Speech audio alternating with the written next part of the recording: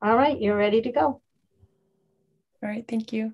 Yeah. Um, good morning, everybody. Um, welcome to uh, today's meeting of the Ag Conservation and Forestry Committee. Um, to get started out this morning, we're going to start out with um, introductions of committee members, and I'm going to start with uh, Representative Landry. Uh, thank you, uh, Representative O'Neil. I'm Scott Landry. I represent District 113, the towns of Farmington, New Sharon, here in rainy Franklin County. Thank you. I'll go next to Senator Black. Thank you, Madam Chair. Um, Russ Black from Wilton, representing Senate District 17, which is all of Franklin County and four towns in Kennebec, Belgrade, Mount Vernon, Vienna, and Fayette. Thanks. I'll go to uh, Representative Skolfield. Good morning, Representative O'Neil and members of the committee. My name is Tom Skolfield. I represent House District 112 in the snowy town of Weld in Franklin County. We're snowing here, hasn't turned to rain, hopefully it won't. I represent 17 towns and townships in Franklin and Somerset County. Thank you. Thanks. Um, go to Representative Pluecker. Thank you, Madam Chair. My name is Bill Pluecker. I represent House District 95, which is represented Hope, Appleton, and part of Union. Um, Senator Maxmin. Hi, I'm Chloe Maxmin. I represent Senate District 13, which is all of Lincoln County except for Dresden, plus Washington and Windsor. Thanks. Uh, Representative Underwood. Good morning. I'm uh, Representative Underwood from Presque Isle. It's a little on the rainy, started to rain a little bit up here, but great place to be. Thank you. Thanks. And Representative Osher. I am Laurie Osher. I represent District 123. That's the majority of Orono, the home of the University of Maine. Thank you. Um, and my name is Maggie O'Neil. I represent House District 15, which is in Saco. Um, I'm going to go over what our agenda is for the day, and then we'll turn to our first item. So from 11 to noon, we have scheduled a briefing from the Wild Blueberry Commission. Um, it's a follow up on something that was initiated in government oversight. Um, and then beginning at noon, we're going to have a joint meeting with the EUT committee to talk about um, farms and siting solar.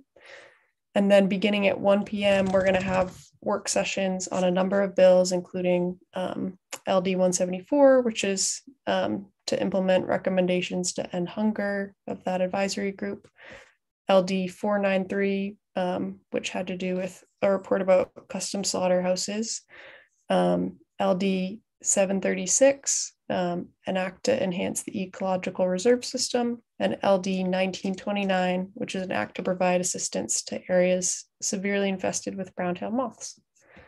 Um, so first, I want to, um, if Karen's here, just have uh, to start out the meeting with the Wild Blueberry Commission, if Karen could give the committee some context on um, why it is we're having this meeting and, and what this report back is. Good morning. Um, it is still morning, right? Okay. uh, so uh, the Government Oversight Committee um, last year, I think this initially started with the Washington County delegation asking the Government Oversight Committee um, to include, um, I don't know if audit is the right word, but um, basically include the Wild Blueberry Commission in the scope of their work of um, making, uh, looking more uh, closely at that organization. So um, the Government Oversight Committee wanted input from the ACF committee. And so we held a briefing last spring with the Wild Blueberry Commission and we were asked to report back to uh, the Government Oversight Committee. And I think uh, essentially the gist of um, ACF's response to uh, GOC was, you know, there have been a lot of changes within the Wild Blueberry Commission. Um, there's a new executive director. And so the ACF committee last year wanted to give Wild Blueberry Commission more time to land on its feet and give them a chance to um, make some changes that people feel were needed and see, um, you know, what could happen in the last uh, approximately a year. So this is kind of um, an update. We're asking Eric uh, Venturini, the executive director of Wild Blueberry Commission, to kind of talk about what has happened in the last year or so. And then um, I guess, you know, you can all decide how you want to, um, you know, provide feedback to the Government Oversight Committee.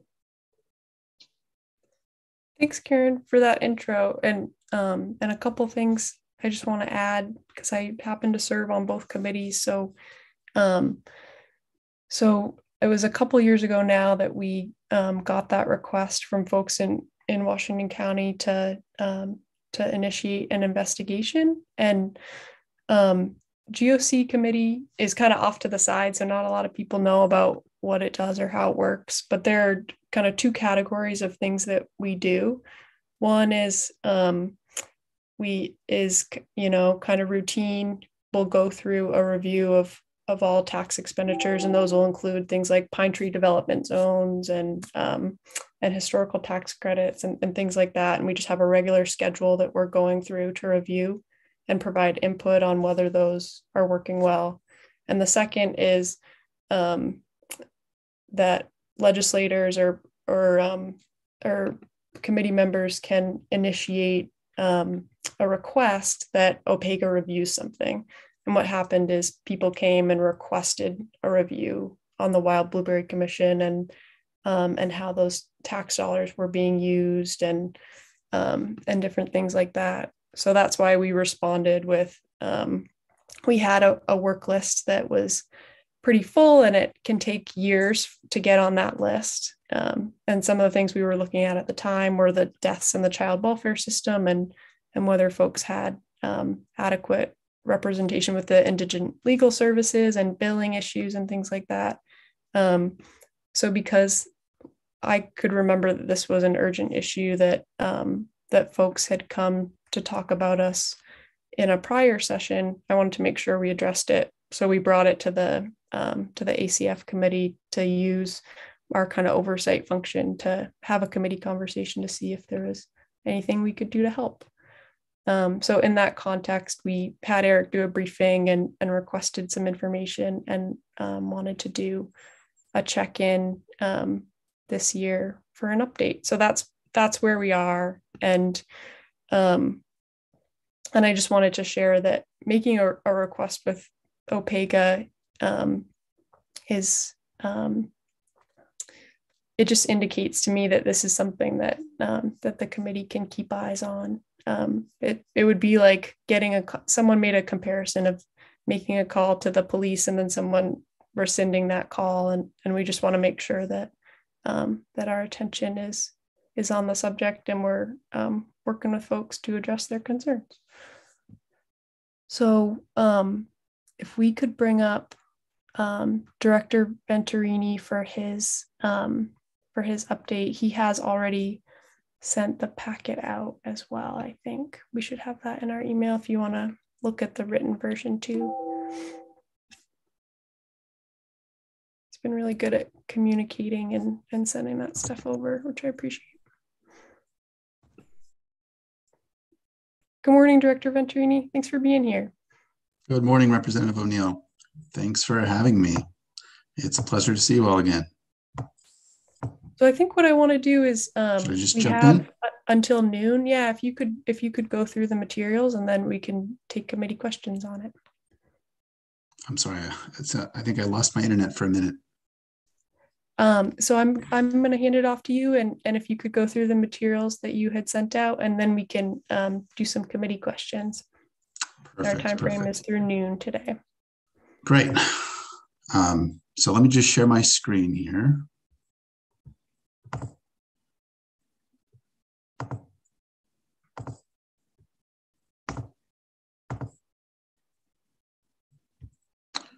Okay, so can you all see the first slide of this presentation?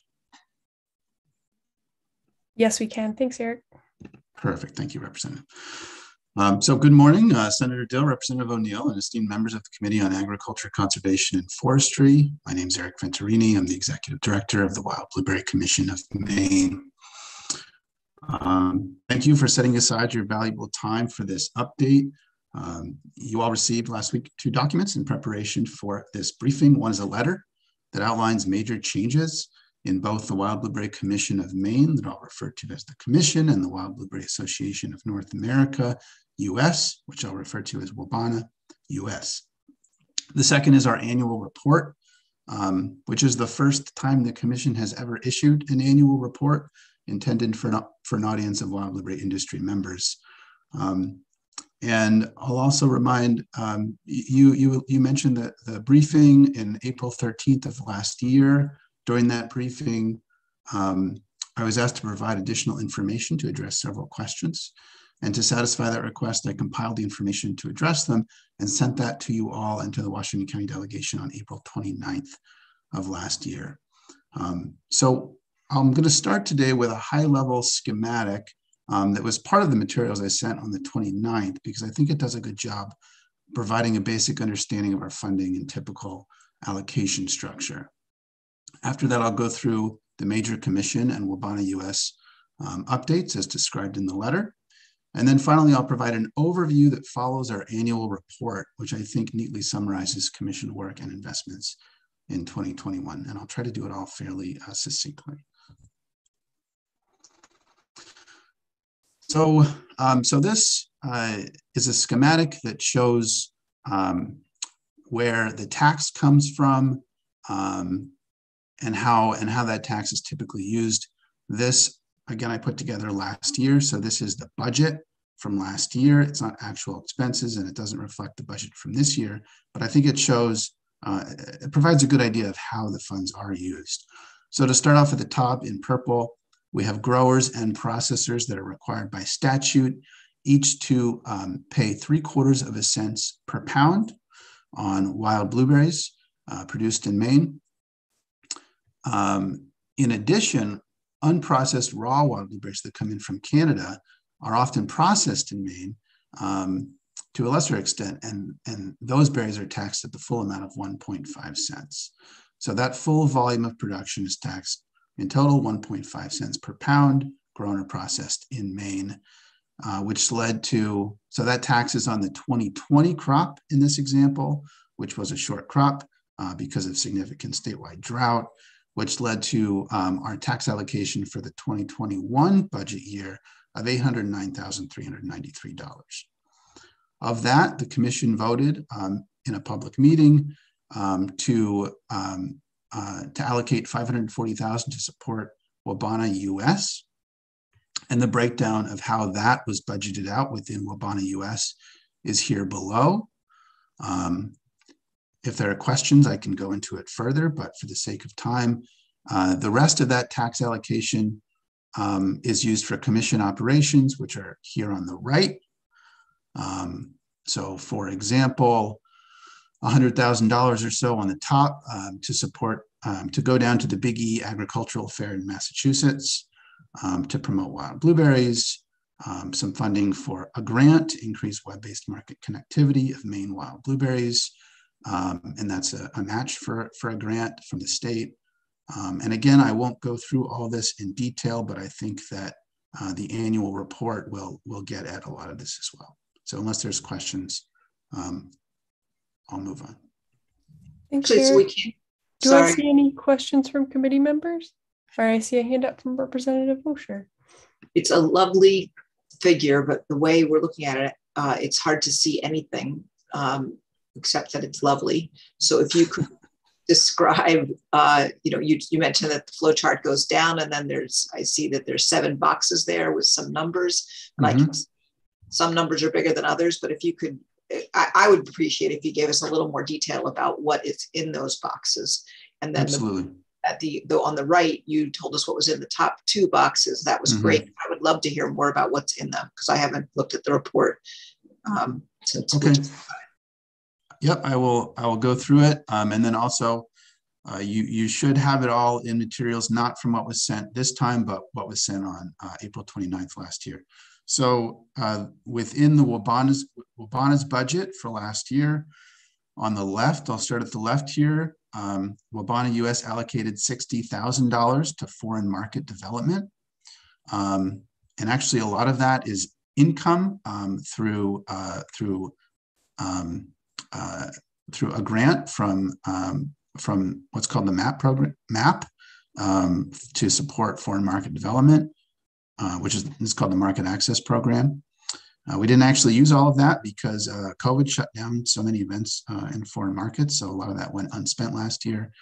Um, here, the next box, we have almost $200,000, which was allocated to health research, um, which funded both health research projects, you know, grants to fund research on the health benefits of wild blueberries, and also um, to hire a consultant who's an expert, you know, nutritionist and, and, um, and helps us to you know, coordinate our strategy um, and, uh, and coordinate with those researchers.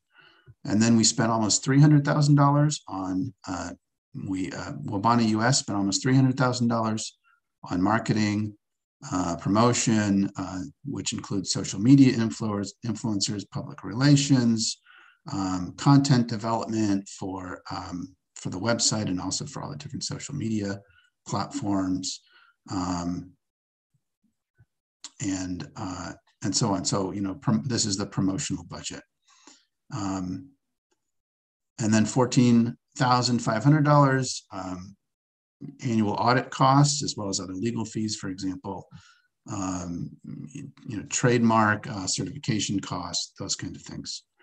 A little over six thousand dollars for meetings, uh, mailings, communications.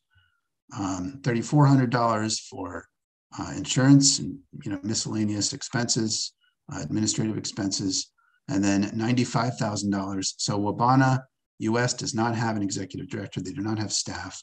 They hire the commission um, to the tune of $95,000 to provide administrative support for to, to oversee and and, uh, and coordinate Wabana US's um, programs. And so that's what this 95,000 is. So that goes back to the commission. This here, uh, so this line is the commission's, um, you know, budget for uh, for for 2021. I should say this is all, ex, um, you know, expense based. This is an, an, overview. It does not provide, you know, the income lines, um, but that the full budget was provided in the materials that went out on um, on uh, April 29th as well.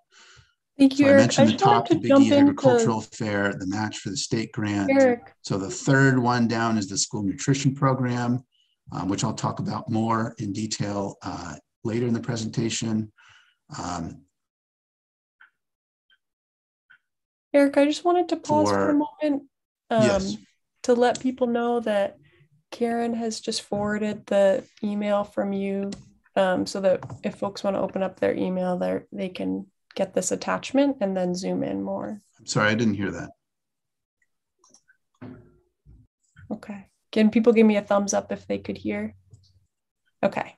All right. So it's in your email if you want to take a look. All right. Thanks, Eric.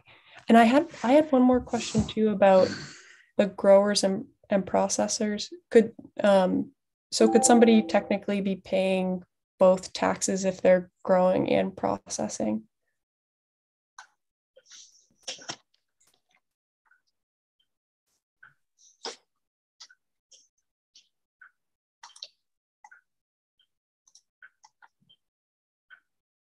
we lose him? Zoom's an adventure. He froze. Sorry, internet problems. I think There I you think go. I'm back. So, Oh, not to so worry. I, I heard you say Representative O'Neil uh, to pause, but I didn't catch uh, anything else after that. Oh, sure. Oh, I was just letting people know that they could find that document on email because Karen um, forwarded that to people.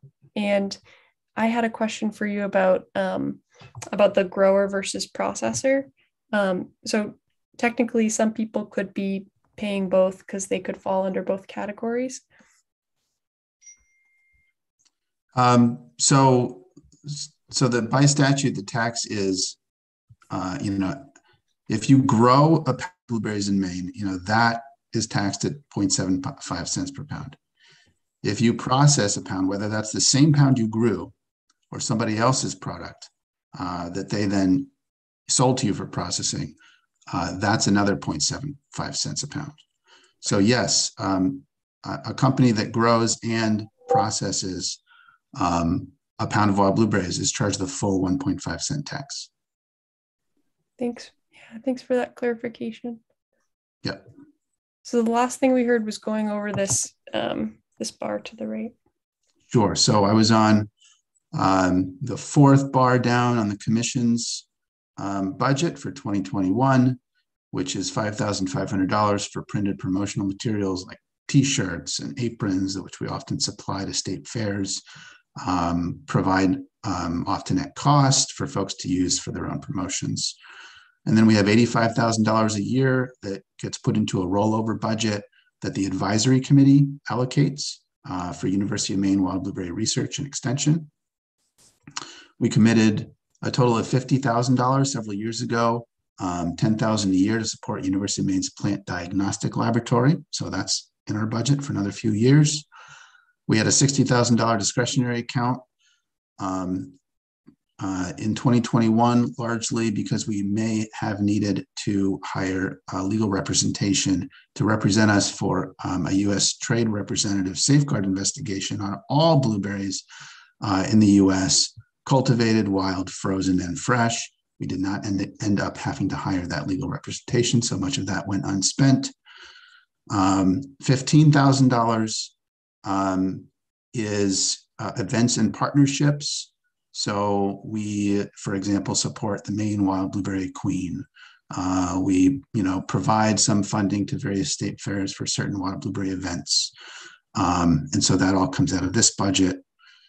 We uh, allocate 19,000 a year for state and federal policy consultants to provide expertise um, to help us advocate for the industry. Uh, we spent 47 allocated by budget, 47,450 for Wild Blueberry Weekend last year. Um, we are a member of many, um, a, a, number of national federal policy coalitions, which have membership fees. And we had in our budget last year, $13,130 for that. And then under kind of standard commission operations, which includes um, the annual audit, insurance costs, mailings, um, and other operational expenses, $38,400. And then um, salaries, health benefits, payroll costs for myself and two staff. Uh, last year, the budget was a total of $266,915. So that's um, that's that's everything there. So any other questions there, or should I move on? Thank you. No problem. So I'm going to go through uh, several major either organizational or functional changes in the commission that I believe are uh, relevant to the concerns raised by the Washington County delegation. Um, first, since July of 2021, uh, so this is not a permanent change, but it may be important context. Uh, the commission has been functioning with a board that is comprised of five growers and four processors. And that's because one of the industry's processors was purchased by another, uh, reducing the number of individuals eligible for our five processor seats by one and leading to his resignation from the commission. The commission dedicated significant time, uh, meeting time in 2021 to develop and to discuss and to refine, uh, refine bylaws. Uh, the commission is, of course, governed by the Wild Blueberry Tax Statute. That's MRS Title 36, Part 7, Chapter 701. Although that statute allows us to have bylaws to govern our functions, um, to date we had not had any. In January of this year, uh, the commission conditionally approved a bylaws draft, and we're currently seeking legal review to ensure that those bylaws are in alignment with the statute. And the commission will consider final adoption uh, of those bylaws at our next meeting in June. I think most relevant to the concerns laid out by the Washington County delegation, uh, the bylaws will require that the offices leadership of, of the commission, chair and vice chair, are equally representative between grower representative and processor representative. So that if a grower is chair, then a processor must be vice chair and vice versa. Uh, those bylaws, when adopted, would also require that the commission inform uh, the Maine wild blueberry industry of pending vacancies, seats on the commission. What has been done to date, uh, and which is spelled out in our governing statute, is that the Commissioner of Ag Conservation and Forestry is charged with appointing new commissioners announces pending vacancies at the Ag Trade Show in January, uh, in January of any year in which a seat will be open. I don't believe that a single announcement is sufficient to encourage and inform industry members of the opportunity, especially considering that the Ag Trade Show has been virtual for the last two years. Um, so per these bylaws, we would supplement that announcement with industry outreach of our own, um, ensuring that we're simply informing the industry of the opportunity and certainly never raising one nominee over another. Much of the concerns laid, yes? I wanted to, if we could go back to that previous slide about the updates.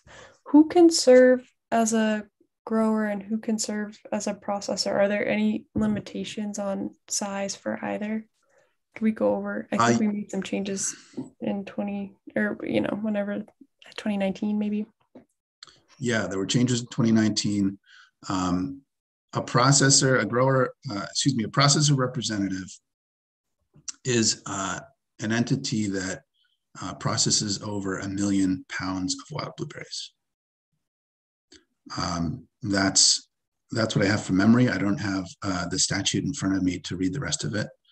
Um, I will say that because of the um, because we now have one less um, you know eligible um, you know entity in the state to fill that empty seat, the commission will be discussing the statute at our June meeting. Um, and I have no doubt that, um, you know, some of these different definitions will be discussed by the commission and voted on at that meeting. Thanks. So there's a there's a limitation on size for the processors, but there's no parallel one on the growers for the definition. I don't I don't believe so, but I'm I don't have it in front of me. Okay. Um, and I'll write this down um, so you don't have to worry about jotting it down. But could you come back to the committee with the current number of processors that um, that are above that threshold of a million pounds per year, and then um, also the number of processor processors that are under that million pounds per year who are paying the tax.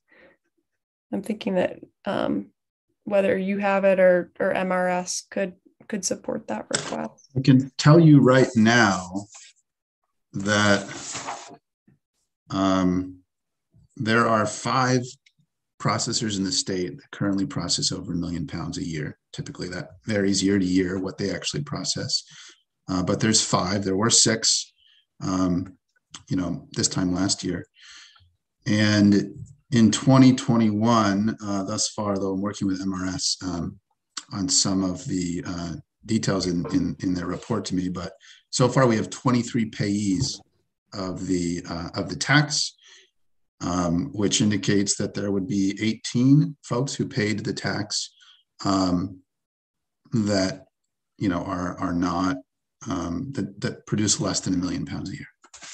Whether or not they can be considered processors, um, you know, I'd have to look at the companies. I know, for example, um, you know, some wine companies, for example, are on there because, you know, they process the berries in there, um, you know, as they create the wine. So it's not cut and dried. But, I, but I do have those numbers handy. So, yeah, that would be helpful if you could talk about um, the number of processors under a million pounds and then um, and then give the kinds of details that you're offering here of you know some of it might be wines some might be different kinds of things just to give us an idea of of you know who they are what they do how many are out there. And something that was um, that was raised and was part of the um, was part of the request for the investigation was um, consolidation. So um, something that i would like to request too is if you can come back with um, a his, you know, a little bit of a report on the history of, of consolidation within the processing sector over the past 25 years or so. We'll see what I can do. Thank you. Would you, are you thinking there would be an additional briefing or should I provide this as written material like I did last year? Um, providing it as written would be great. And then I think the committee can discuss what we want to do, but written sounds like a great step. Okay. All right, and I see a hand up from Representative Pluecker. Thank you, Madam Chair, and thank you, Mr. Venturini, for being here today and doing all this work and putting the report together. Um, uh, I was a little confused on one point. Is the million dollar, or sorry, the million pound processor rule, is that in statute or is that rule? Is that something would require legislative action or could the commission address that in its June meeting? It's in statute. It's in statute, okay. Um, and then you also had mentioned the the bylaws are drafted. Would you mind including that in your written materials when you send it to us? Uh, yeah, it's a draft. Uh, you know, up for approval in June, um, but I Oh, can okay. I can provide what I have. Yeah. That'd be great. Thank you.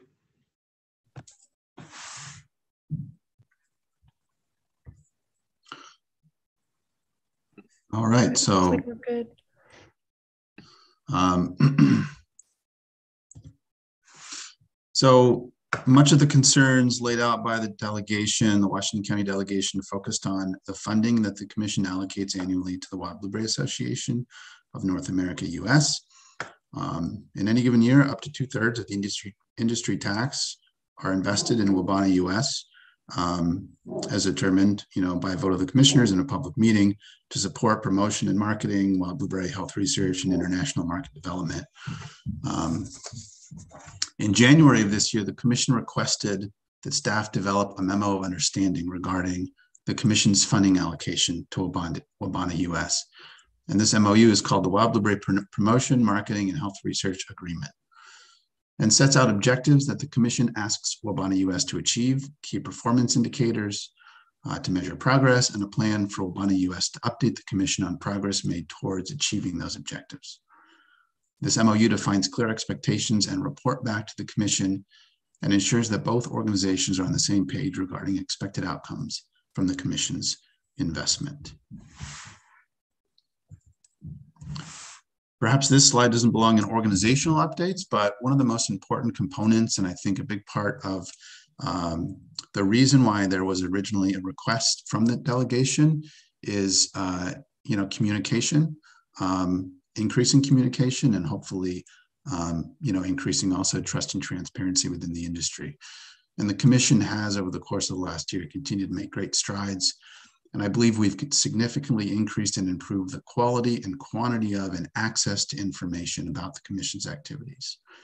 Um, as I mentioned, we released the first ever annual report, um, which has already been shared via our constant contact email, which is now going for two years, and emailed newsletter. Um, starting in March of 2021, we started to develop the first website to provide information um, about the commission, and that website was approved by the commission in January and is now live. Um, the background here is the first page of that website. Um, and then finally this year, we will carry out a series of grower listening sessions as part of our two-year strategic planning cycle. Input solicited from those sessions will be provided to the commission this fall and incorporated into our two-year shared priorities and plan of work for 2023. Um, in summary on these uh, industry, industry communications, uh, Courtney Hammond, a well-known wild blueberry producer whose family has been in the business for generations, uh, said during the public comment period at our January commission meeting, and I quote him with permission, it's great to see what the industry has accomplished in a year. We're headed in a better direction. Now, while the commission has been making changes, so has the Wild Blueberry Association of North America, US. Eric, could we pause before this slide? I see a hand up from Representative um, Landry. Uh, Thank you, Representative O'Neil. Uh, Eric, uh, listening to all the numbers and, and the issues, it seems that I remember part of one of the complaints that I heard way back was that we weren't promoting Maine blueberries, we're promoting wild blueberries. I understand that, you know, you've got an international flavor to this whole business here, but am I am I off base in recalling that? Wasn't that part of the issue? Uh, it absolutely was brought up, and um, and I'm going to touch on that in a few a few more slides. Okay, thank you. All right, thank you. So, um, So while the commission has been making changes, so has Wabana US. Um, and first, Wabana US amended its bylaws in December of 2021. Previously, the board of Wabana US required that there was one more processor serving on the board than growers, so that if there were five processors, there would be four growers. Um, this is a the bylaws now require that an equal number of growers and processors sit on the board, and now there are four growers and four processors. So this is a permanent structural change in the organization of Wabana US. And then finally, last but definitely not least, Representative Landry, um, Wabana US has approved a major promotional campaign, the likes of which have been requested by many in the industry for years. And that is launching this year to focus on the main attributes of our berries. Most of Wabana US promotion in the past has focused on health research, and many industry members have expressed concern that there was not enough focus on the Maine brand. This campaign is a significant investment and undertaking, and this direction is a milestone, and the industry is quite excited about it, as am I. For example, one of the growers that attended our January plan of work and budget setting meeting said during a discussion about 2022 funding for Wabana US's promotional program, and I quote Brian Powers, again with permission, I understand that there is a level of mistrust that has festered in the blueberry industry that's occurred over a long period of time. We need to deal with from this point on and stop revisiting the mistakes of the past. I think we've got a good organization. I think they've proved analytically, empirically, and monetarily that they're doing a really good job. And we're embarking on a radical change here, and to throw a wrench in it is ill considered at the least. And the radical change he's referring to is this main um, uh, promotional campaign. So the next thing that I'll do is um, go through the annual report that I sent to you. Um, and so unless there's any questions on these kind of structural changes within Wabana US and the commission, I'll, I'll move on to that.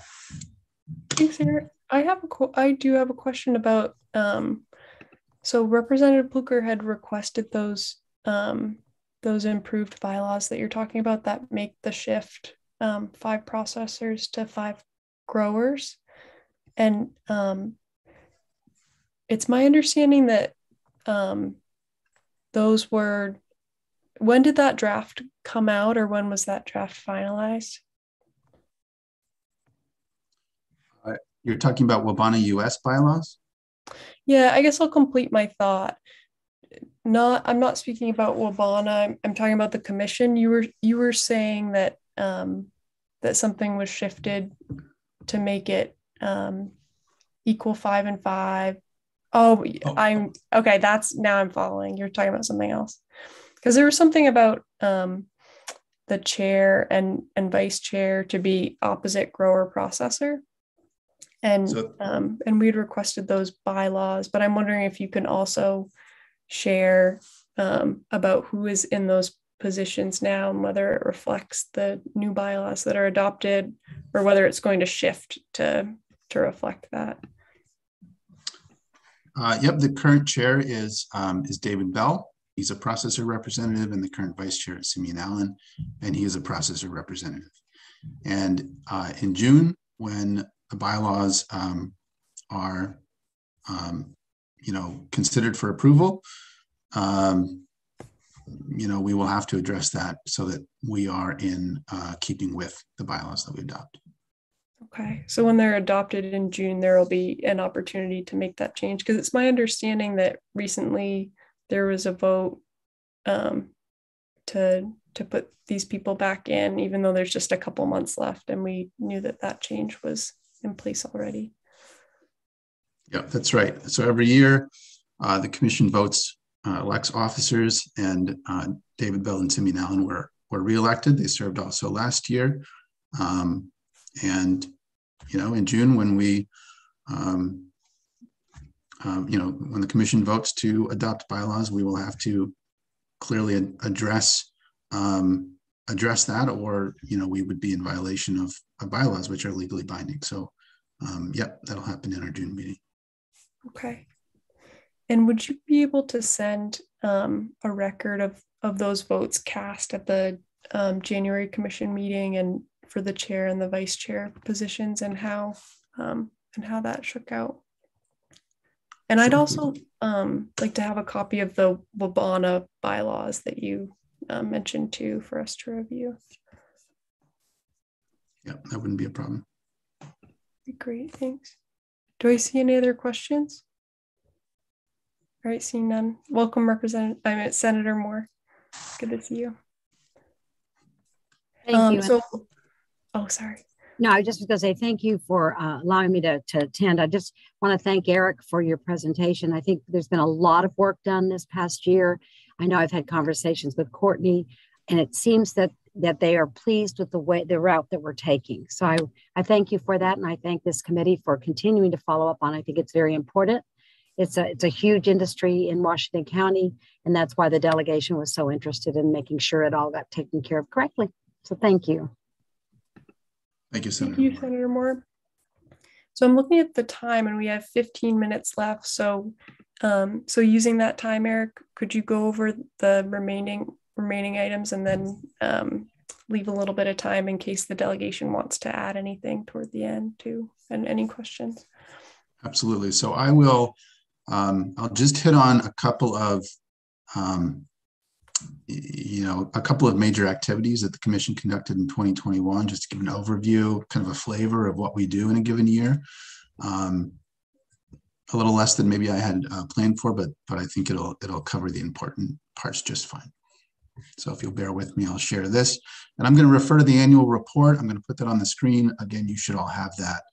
Um,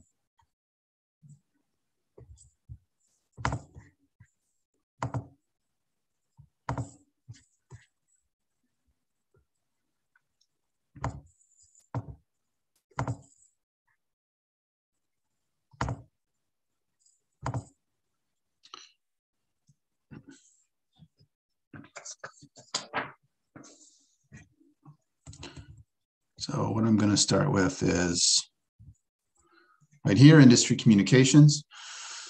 Um, you know, I hit on some of this. Uh, I think we've done a lot uh, to improve industry communications. I encourage you all to check out our website. I mentioned the grower listening sessions, this annual report, um, and this provides some metrics from our, um, our constant contact email campaigns. We've seen 30% growth in industry subs- subscribers over the year and a 44% um, open rate, which is uh, 19% higher than the industry average, which indicates that folks are actually engaging in the content that we send. Skip over this because we've already talked about it a bit. Um, our advisory committee, uh, which is tasked per the Wild Blueberry Tax Statute, is to advise and work with the University of Maine system to develop and approve a plan of work and budgets for research and extension programs related to the production and use of wild blueberries. In 2021, they awarded $126,000 to support University of Maine research and extension on wild blueberries. That figure supported 10 research and funding requests from five researchers. And those researchers using either that grant funding and, uh, and or the advisory committee's published industry research priorities leveraged an additional $781,000 in funding to research and provide wild blueberry producer education to the industry. 29% of that advisory committee allocation in 2021 went to research and help address climate change challenges and help to leverage an additional 152,000 of external funding on wild blueberries and climate change, which is in alignment, direct alignment with the Commission's 2021 strategic priorities. A few key projects last year that the Commission uh, funded through the advisory committee was a study by Dr. Lily Calderwood to investigate ways to use CoolBots um, cost effectively to cool wild blueberries post harvest.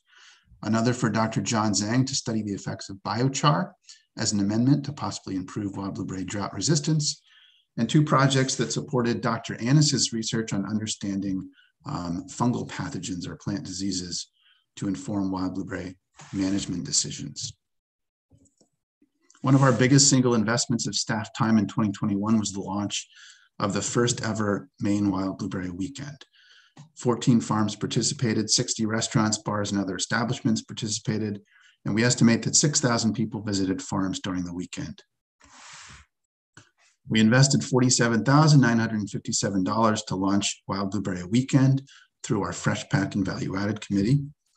And um, through earned media, as well as social media, um, and other and other avenues, we reached 3.5 million people, so 3.5 million impressions. Um, uh, sorry, Governor Mills herself played a major role in making this event a success when she announced a formal proclamation declaring that weekend in August to be Wild Blueberry Weekend.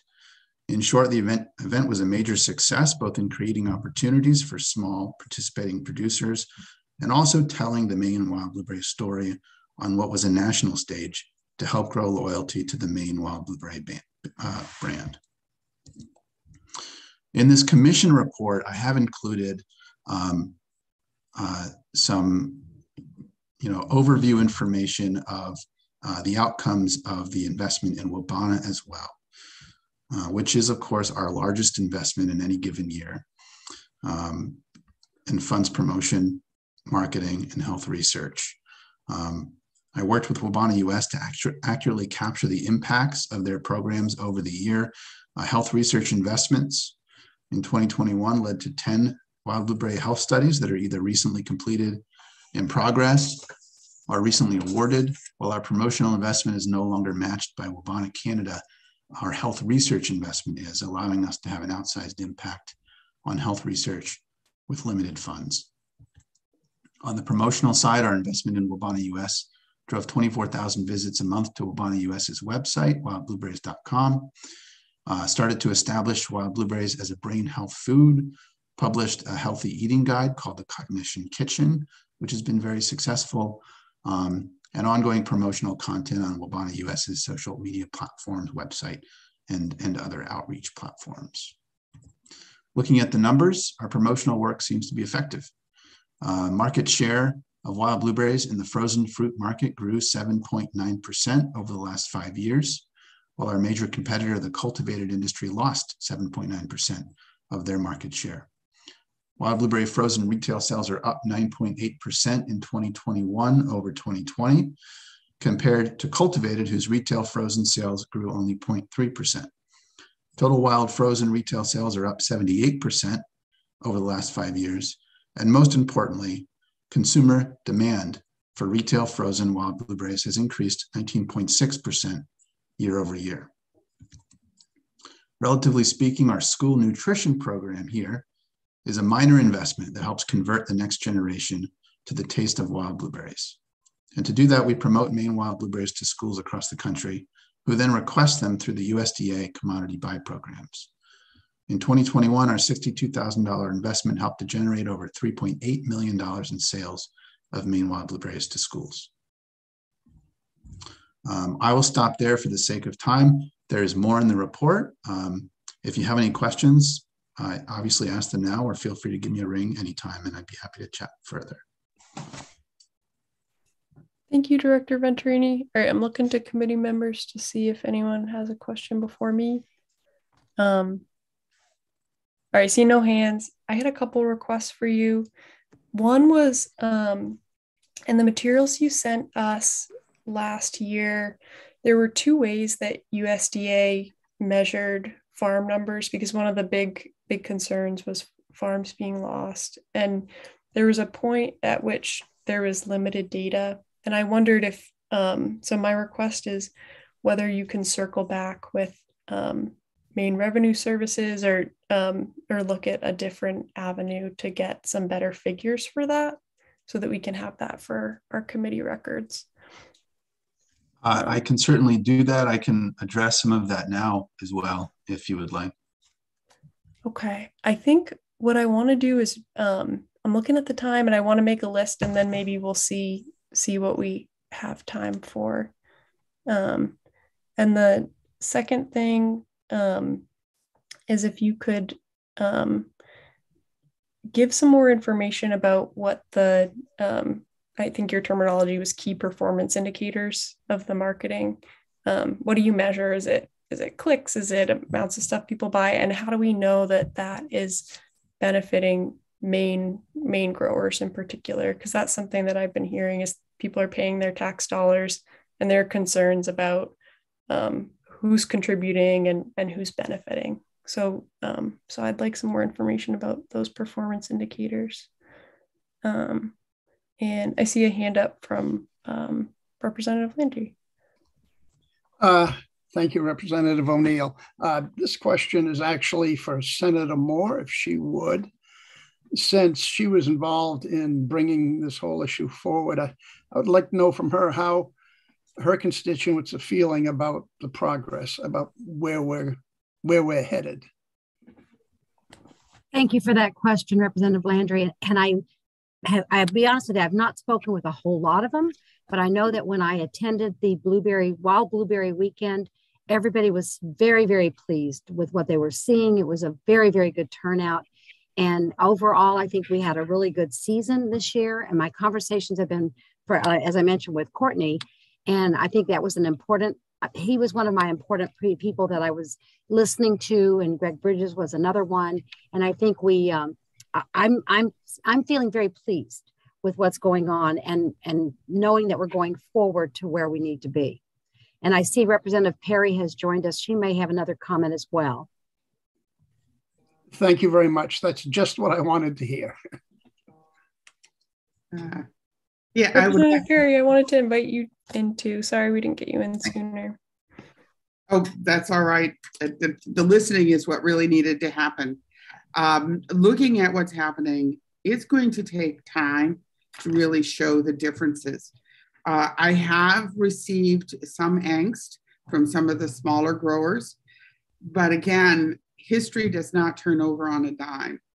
And um, I'm really pleased to see the progress in the look at getting a better look at the Maine wild blueberries, uh, a, the changes on the configuration of Wabana, uh, and also, you know, if we have a chance to get a look at the bylaws uh, that are happening. I, I think that we need time to see how these changes really do affect the, the stuff that we were working uh, to uh, see uh, happen. And um, I think there's been a lot of work in a very short time and uh, certainly worth continuing to watch. Thank you, uh, Senator Moore and Representative Perry for being here. And I had one more question um, for you, Eric. If you could, because um, I remember last time, I don't know which briefing it was, you went over certain goals um, that you had identified with with the group of stakeholders um, that you were working on achieving, and one was stopping the loss of small growers and acreage. And I'm wondering if you can speak to specific action items that that serve, you know, that's on your plan for this year that serve that goal. Sure. Um, so first off, I maybe I'll give a couple of quick um, statistics on that. Um, you know, to, to that maybe get at what's what's happening already. Um, so I've got some numbers from NASS, that's the National Agricultural St Statistics Service, that don't do number of farms every year, but they do have an acreage number. Um, in 2017, the acreage harvested, uh, so first in 2016, the acres harvested was 23,000 acres, 23,100 acres in Maine. In 2017, that's when the price just dropped out, it was 17,000. 2018, 18,800, 2019, 20,500, and 2020, 20,700. I don't have 2021 figures, but acreage is increasing. The number of farms, the last number I have is 2017 because that only comes out every five years. I have no other data on the number of farms other than the MRS figures, which is not the number of farms. Um, it's the number of pays of the tax. Um, there's most producers sell to a processor and thus are not included in the tax rolls. Um, but I, I, can say that, uh, you know, so starting in 2014 uh, and then going year by year, we had 33 payees, then 34, 39, 37, 39, 37. Last uh, in 2020, we had 28. Last year, 2021, we had 23. And I think what we see there is really a COVID response, the great resignation and all that, and the fact that the average age of wild blueberry producers is 64 and a half. Um, people are retiring and stopping um, the loss of that acreage as people retire, recruiting more people into the industry um, is definitely a priority. Stop the loss of small growers is a published shared priority of the commission um, and something that I think really all of our work uh, is geared towards. Uh, for example, um, we have a proposal on the table that I've coordinated with Land for Good on, which would put on farm succession workshops for wild blueberry producers. The commission will consider the merits of that proposal in June and determine at that time whether or not to fund it. We're also working with Maine Farmland Trust. And we pointed out to them the opportunities and needs in this industry around innovation, recruitment, and farm transition. And MFT uh, decided to um, decided to offer a wild blueberry business planning course, which actually just ended, and I've heard very good things about. Uh, we have also con convened, which was part of the annual report, an innovation working group, uh, which has identified two innovation concepts to pursue. Uh, one of those is um, uh, is aimed at identifying um, the the the scale gap. So there's a challenge where small producers it's very challenging to scale up value added products. And so the innovation concept is well, you know, we need to seek um, ideas and, and innovations and funding to try and create uh, innovations that would, um, you know, maybe help make it easier for small producers to scale up. Um, so this is an on, ongoing work. Obviously, we're hoping that in the course of this year that we may be able to secure funding uh, to support that but I mean everything, even including you know increasing demand through the promotional investment, health research, you know investment that we make in Wabana. Uh, I mean all of that, you know, producers small to large, you know, can sell their product to a willing uh, willing consumer because consumers are aware of the health benefits and the story of Maine wild blueberries. Thanks for your responses, Eric. I'm, I'm looking at a time check and um, we'll be having the EUT committee joining us starting at noon. So um, we'll have to transition to that. Um, do we have any, just any requests from the committee before we conclude? All right, seeing none, I would just request um, a written version of the of the action items for small growers, and I and I appreciate. I have heard um, feedback that there's more work to be done, but that folks are appreciative of the process that you have put in place. So thanks for taking the time with the committee today. And Thank thanks you, to the Washington County delegation as well. All right. I um if Senator Dill's mic is working, I want to turn over facilitation to Senator Dill for this briefing. Thank you, Representative O'Neil. Is it working? Yes I had to change out my monitor. So something wrong with the uh, speakers and the mic. So, well, um, we will move right along. Uh, we will go on to our briefing on agricultural land and siting solar arrays.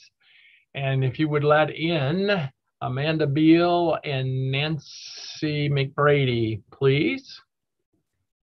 Also represent, I mean, Senator Dill, um, the EUT committee that Yep. is here are coming in under my name. Okay. So They will need to change their names if they would, please. Yep. So as soon as we get everybody in, we'll start here in a couple of minutes. And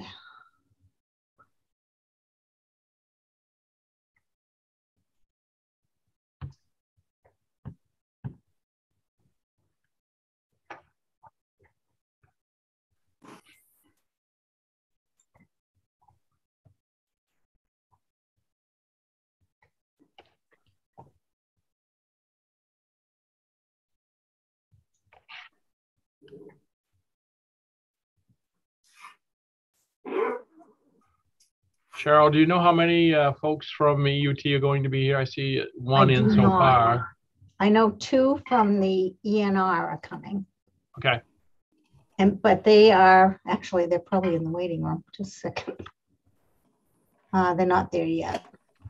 Oops, I see uh, Representative Berry's. Yeah, yeah, he's there. Yeah. Did you bring him over? Nope, I didn't. I didn't either. Oh, there he is. Okay. And I know that um, another a lady, another lady was going to. But I don't see her there yet.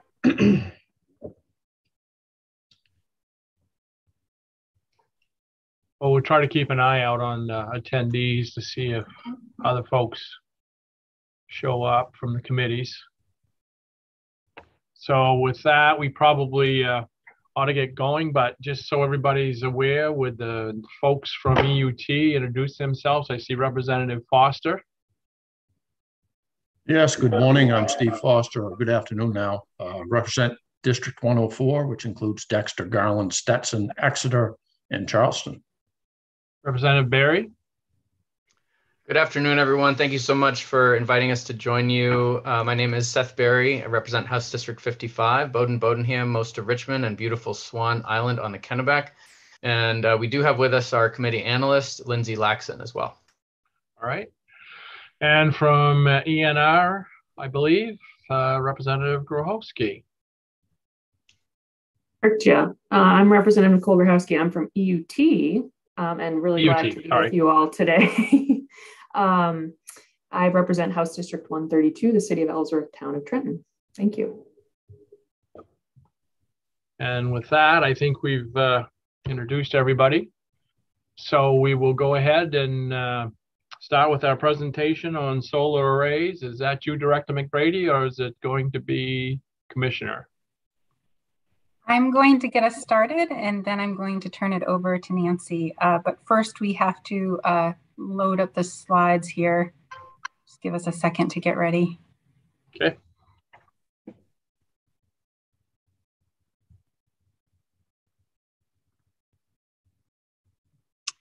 Okay, can everyone see that all right? Yeah. Okay, let me just adjust my screen a little bit here. Make it easier for me to see. Okay, great. Well, thank you, uh, Senator Dill and Representative O'Neil and members of the Agriculture, Conservation and Forestry Committee for having us here today. And also thank you to those from the EUT committee that are able to be with us as well. My name is Amanda Beal, and I'm the Commissioner of the Department of Agriculture, Conservation, and Forestry. And I'm joined by Nancy McBrady, who is our Bureau Director uh, for the Bureau of Agriculture, uh, Food, and Rural Resources. Um, and my notes are freezing, so I'm just going to get rid of them, and we'll just see how this goes. Um, so Nancy, if you could please go to the next slide. Thank you. Um, so yes, uh, we're very happy to be here today to report on, well, to, to give a presentation on a report that we've submitted previously on LD 820, which was a resolve to convene a working group to develop plans to protect Maine's agricultural lands when siting solar arrays. And um, just by way of a refresher, um, the, that resolve in particular required us to convene a working group of stakeholders to develop plans and consider ways to discourage the use of land of higher agricultural value and encourage the use of more marginal agricultural lands when siting a solar array.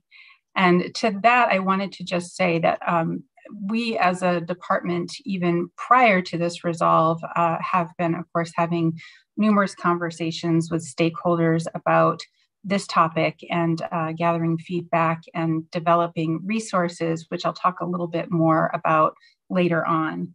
Um, so I just wanted to note that this has been a, a, an ongoing conversation, but we were pleased to be able to devote some time to pulling together a stakeholder group.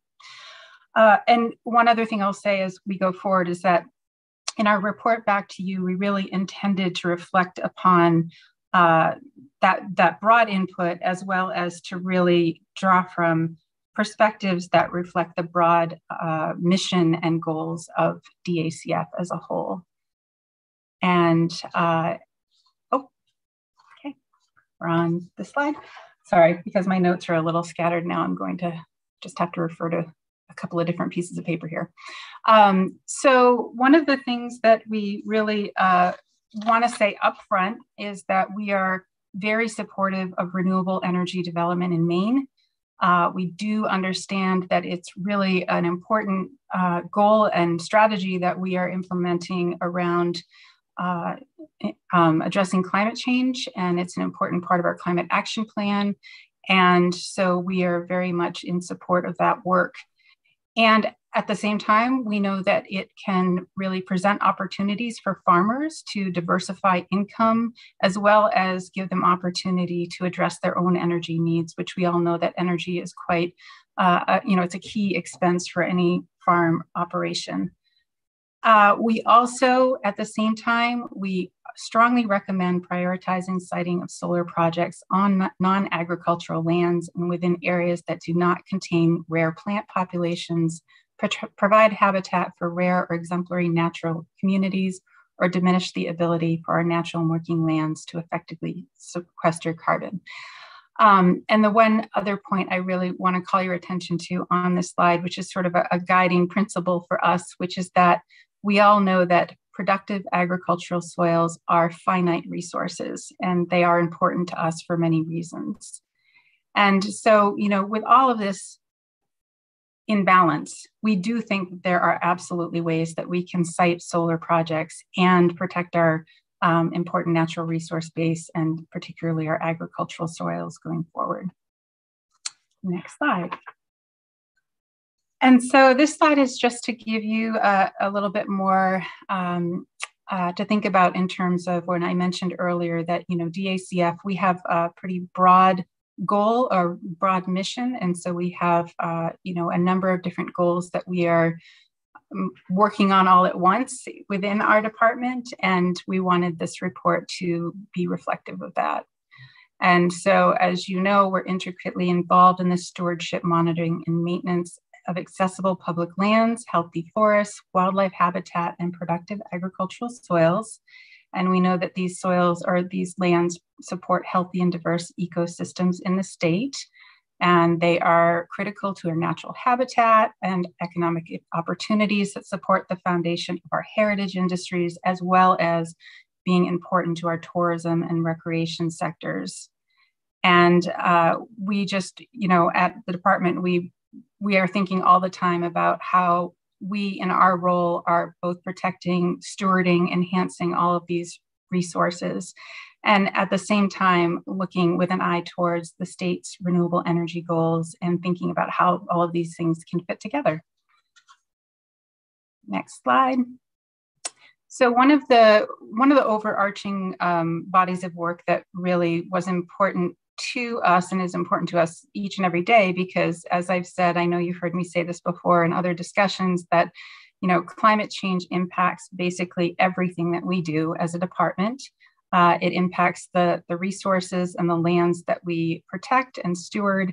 And so climate change has become a very important uh, piece of work for our department and being part of the climate action plan and the maine climate council is also been important to us. So Maine Won't Wait, our climate action plan, it is, uh, of course, it offers strategies aimed at meeting Maine's greenhouse gas emission targets. Uh, and these strategies intersect with a number of different areas, including renewable energy, natural and working lands, and food production. So I'm going to call out a couple of the strategies within the report that um, really illustrate this. So strategy C uh, reduce carbon emissions in Maine's energy and industrial sectors through clean energy innovation by achieving by 2030 an electricity grid where 80% of Maine's usage comes from renewable generation. And then strategy D talks about growing Maine's clean energy economy and protecting our natural resource industries, such as by increasing the amount of food consumed in Maine from state food producers from 10 to 20% by 2025 and 30% by 2030 through local food system development. Next slide. Strategy E uh, also talks about protecting Maine's environment and working lands and waters, and further notes that by current estimates, Maine loses approximately 10,000 acres of natural and working lands to development each year. This is a figure which is projected to grow in the coming years we know that the pace of development is not slowing, it is picking up. Uh, avoidance of this potential impact could possibly be achieved by developing policies by 2022 to ensure renewable energy project siting is streamlined and transparent while seeking to minimize impacts on natural and working lands and engaging key stakeholders. And another goal set under strategy E is to increase by 2030 the total acreage of conserved lands in the state to 30% through voluntary focused purchases of land and working forest or farm conservation easements. So again, the protection and preservation of these lands is very important to meeting our overall goals. Um, next slide. And then um, one other uh, uh, goal that is reflected in both strategies D and E reflect to our uh, forestry resources. And in the report, it, it, uh, it points out that uh, in, sorry, each year Maine's forests, which cover 89% of the state, sequester an amount of carbon equal to at least 60% of the state's annual carbon emissions, a figure that rises to 75% when durable forest products are included. So this is really central also to our, uh, our climate action plan and our goals as a state. And in strategy E, um, one of the implementation outcomes was for, to um, establish a forest carbon program task force, which the governor did by executive order early last year. And we, I co-chaired that um, that task force, and we finalized our report in October 2021 that, as directed, explored incentives to encourage forest land management practices that increase carbon storage, specifically on woodland owners of 10 to 10,000 acres. And so you can look at that report. There are a number of recommendations there, but just as an overarching principle, I wanted to point out that fundamental to achieving the recommendations in this report and our overarching forest carbon sequestration goals is that we work to maintain our existing forest land base. Next slide. So this slide is just uh, well, a couple of caveats I want to point out ahead of time. Um, these, these numbers are for, from 2020.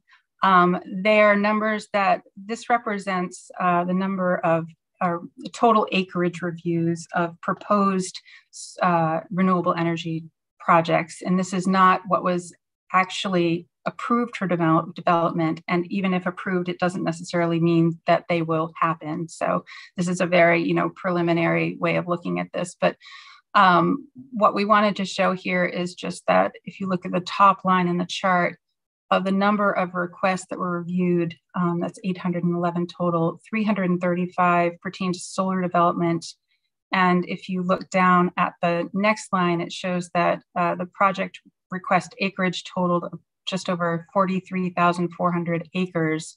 And about, if you look at the next line down, about a third of those acres um, included or intersected with uh, farmland soils. So we just wanted to, to point that out. We know that farmland soils and agricultural soils are uh, attractive to solar developments because they the developers because they tend to be clear, open land, um, relatively flat. So uh, they they seem to be um, most of the way there, ready to be turned into a solar array if that is uh, if it's in a location that meets their other needs as well. Um, next slide. And so, you know, recognizing that this opportunity is both a push and a pull for farms, um, there can be, there are concerns out there that uh, solar development on agricultural lands can turn into a, a, situation where it creates competition for affordable land or land that farmers rely upon that they might not own but they lease and they don't necessarily have full control over. And um, there's also been a number of reports to us at the department about farmers feeling like they've been sort of inundated with a lot of phone calls and mailings encouraging them to develop their land into uh, solar arrays. And we do know also that some municipalities are passing um, ordinances or, or putting moratoria on solar development um, just trying to pump the brakes and figure out, you know, what kind of policies they need to put in place to make sure that they're retaining all of the different kinds of values that they want, while also uh, encouraging and inviting solar development. Um, as I said before, we know it can be helpful for farms in terms of a diversified income stream if they do allow development. And again, we do think that thoughtful siting can allow farming operations to continue while also realizing the benefit of solar development. And next slide. Um, this is my last slide. So this is just back around to some of the resources that I mentioned that we have developed. Um, we do not regulate siting of development or agricultural soils. I just want to make that really clear, but we have tried to create some resources that will help people to make good decisions about siting, um, things to be thinking about if you're a farmer, things to be thinking about if you're a developer. And uh, we have a web page that's devoted to these resources. And specifically, we have um, a uh, put together this DACF technical guidance for utility scale solar installations and development on agricultural, forested, and natural lands document. And uh, that is uh, very accessible on this website as well. And in addition, Maine Audubon and Maine Farmland Trust have also developed some helpful resources. And so with that, I think the next slide is for Nancy go from here. Yes, it is. Thank you, Commissioner. Good afternoon, everyone. My name is Nancy McBrady. I'm the Bureau Director at the Bureau of Agriculture, Food and Rural Resources. And what I will now be speaking to is the agricultural solar siting stakeholder group process that uh, was conducted in 2021, excuse me. And as a reminder, uh, LD 820 um, did put forward uh, that this stakeholder process um, was to kick off. Um, and as Commissioner Beal had mentioned, we had already, prior to LD 820, been thinking about a stakeholder uh, effort as well. So let me walk you through this. We had eight facilitated meetings between June and December of 2021. Um, this was co-chaired by myself and Celina Cunningham. Um, she's the Deputy Director of the Governor's Energy Office. She is uh, attending the work session today and is available for any questions if anyone has any for her. Um, and together we worked with 13 members of uh, the stakeholder committee. Um, they all came from diverse backgrounds and offered different perspectives, whether they were from an ag background uh, or a, a, solar development background and, and everything in between. We, we had a lot of uh, diversity of, of perspectives there, which was very helpful for engaged conversation. At every meeting, we also had public engagement uh, that allowed for public comment. And we also had a comment period for the draft report.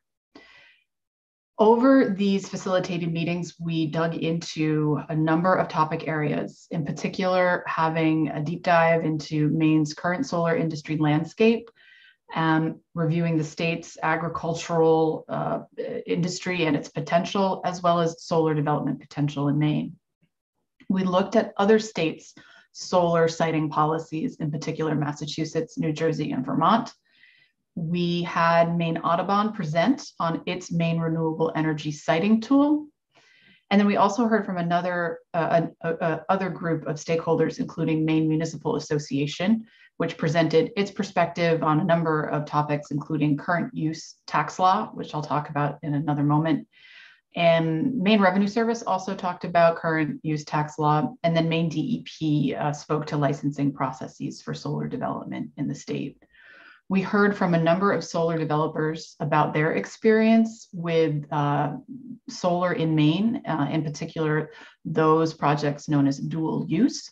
And dual use is essentially where um, solar arrays are installed on a, a, a farm, but farming activities also occur concurrently so that a farm's productivity doesn't necessarily cease due to uh, solar being installed in particular portions of that farm.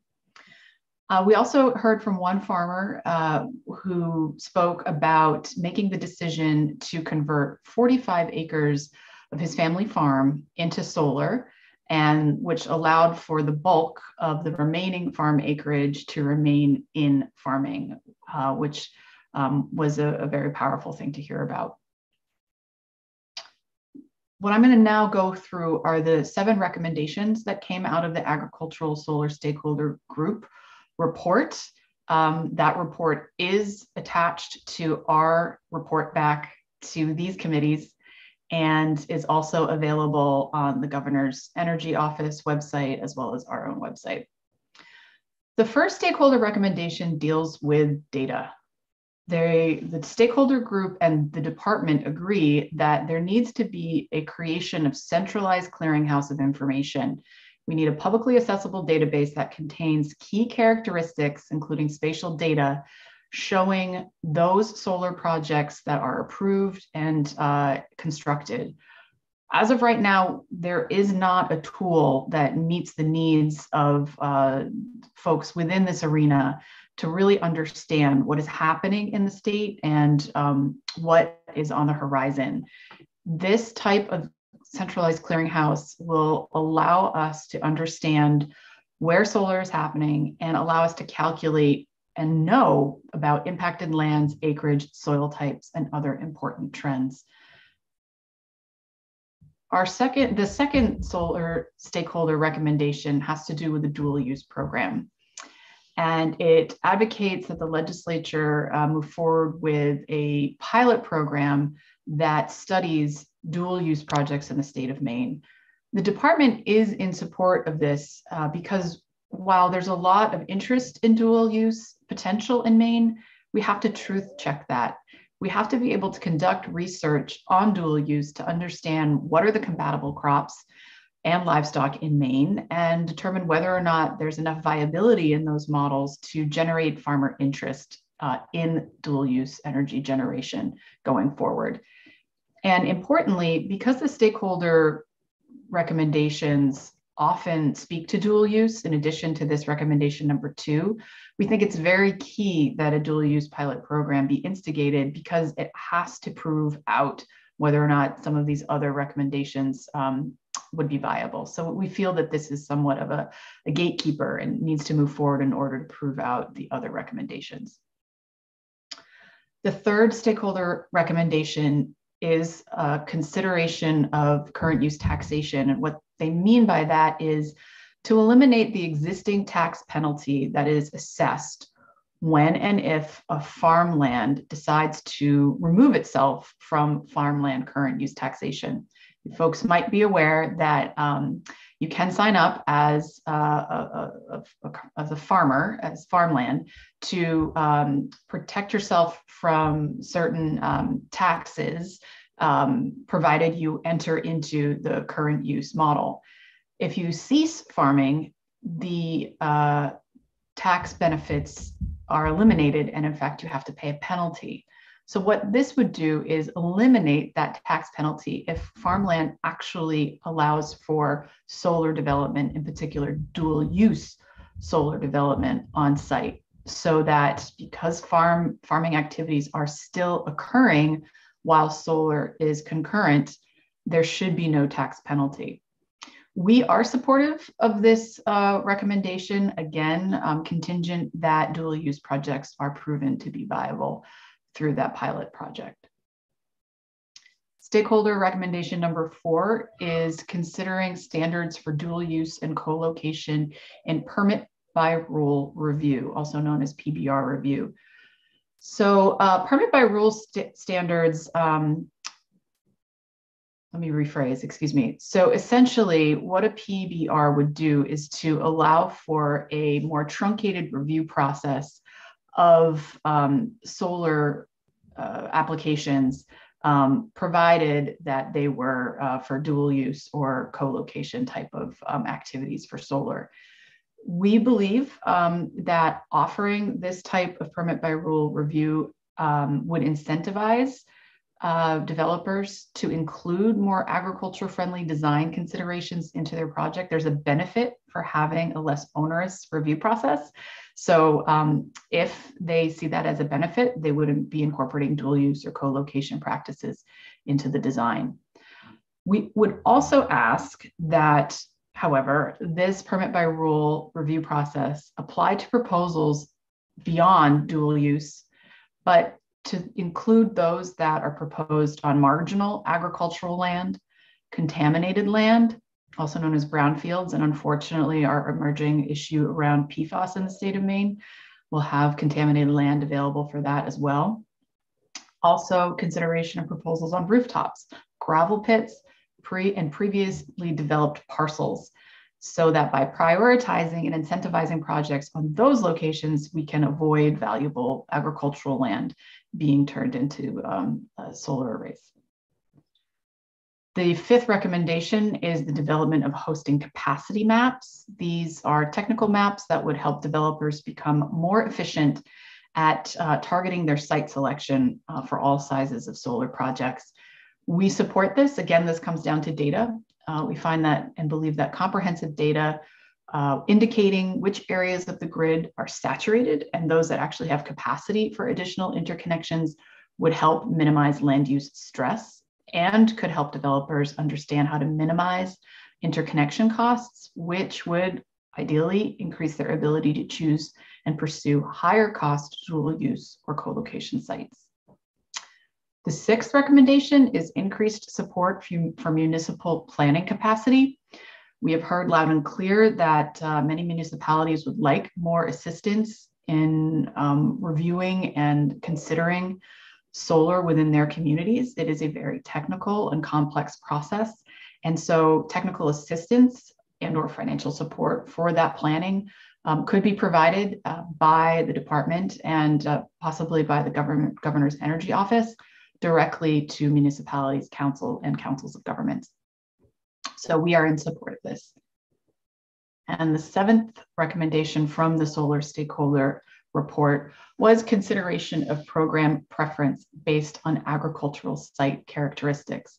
What this means is in future state procurement processes for solar, um, which would potentially consider long, uh, long range contracts or compensation mechanisms, we would want there to be consideration of agricultural siting characteristics as part of that review process. Currently, there is a distributed generation stakeholder group that is considering site characteristics. And we ask, and this was asked of by this report as well, that this stakeholder group um, do exactly that, that they um, think about agricultural siting characteristics and include agricultural group members to participate in that effort. So putting a finer point on it from the department's perspective, we believe that having the PUC evaluate and score proposed projects, agricultural and natural resource impacts can encourage well-designed and well-sited projects that limit impacts to valuable agricultural lands. We also, in addition to ag lands, however, encourage that that procurement process include other criteria assessing whether the project is located in the built environment on brownfields or contaminated lands and whether it will be a dual use or co-location process. So as I just mentioned in going through those seven recommendations, the department is in support of those recommendations with some finer points overlaid here and there. But we would also uh, draw the committee's uh, attention to additional policy recommendations for further consideration um, that were not included in the Ag Solar Stakeholder Report. One such recommendation is for considering an in lieu fee program. In lieu fee is a mechanism where if uh, significant environmental impacts upon natural resources, or in this case, agricultural resources, can't be avoided by development, the developer pays a mitigation fee. That fee is then utilized to protect uh, other resources, such as natural resources, wildlife habitat, or in our case, uh, farmland protection elsewhere in the state. And uh, in lieu fee is not a new concept. There is an in lieu fee mechanism already within uh, the DEP's um, uh, stat statutory oversight um, relating to wetlands. We also believe that more needs to be done to educate a broad swath of folks within the state about the importance of soils. We need to enhance the general understanding of developers, policymakers such as yourselves, the general public about the importance of our farmland so soils and what opportunities are lost when those soils are converted um, into non-agricultural use. That we see uh, as being a very important role for our new Healthy Soils program, which will be getting underway in 2022. Um, but we really need to call attention to the importance of healthy agricultural soils in the state. And also underlying a lot of our, our, our observations and recommendations around agriculture, uh, not to be forgotten, is, gener- is generally speaking natural resources. When considering potential impacts from solar siting, we want there to be consideration of natural resources more broadly. The, that term includes important wildlife and fisheries habitat, rare plant populations, and rare uh, natural communities. So where do we go from here? Um, in, in thinking about how to prioritize action steps, um, the department believes that uh, three of the seven recommendations um, certainly can be looked at uh, sooner rather than later. First would be um, getting together the resources necessary to establish the centralized clearinghouse on solar development information. We also believe that the dual use pilot program is very necessary to start uh, designing, digging into, and building out uh, on, on paper at the very least, so that we can then come back with a proposal around how to uh, get that stood up um, in the near future. And we also believe that it's important to provide municipal solar assistance uh, sooner rather than later. We also encourage further analysis of in lieu fee uh, mechanisms uh, focusing on solar development on agricultural land. We also request that the existing distributed generation stakeholder group fully assess agricultural and natural resource siting characteristics, as well as compensation mechanisms um, that uh, really uh, would um, favor dual use um, and co-location um, and, and or avoidance of, that, of those locations. And we also do ask that agricultural representation actively engage in that stakeholder group process. And then underpinning um, a number of these recommendations is the support of a full-time department position to successfully implement these recommendations. This is not a capacity that we currently have within the department. And in order to be as successful as possible moving forward with all things solar policy related and with the intersection of agriculture, we really do ask for support to establish a full-time position in that arena. And I'm going to end there. And Commissioner Beal and I would be happy to answer questions. And don't forget that um, Celina Cunningham is also here as well. Thank you. Thank you. Representative Skolfield. Thank you, Senator Dill, and thank you, Commissioner Beal and Director McBrady for being here. This is uh, very interesting. I, have had, as you probably have guessed, some concerns with, about solar and agricultural land for quite some time. And I am uh, particularly pleased that that this study in this this format is taking place. And I am also very pleased to uh, to think about the brownfield or contaminated soil sites that might be applicable for solar.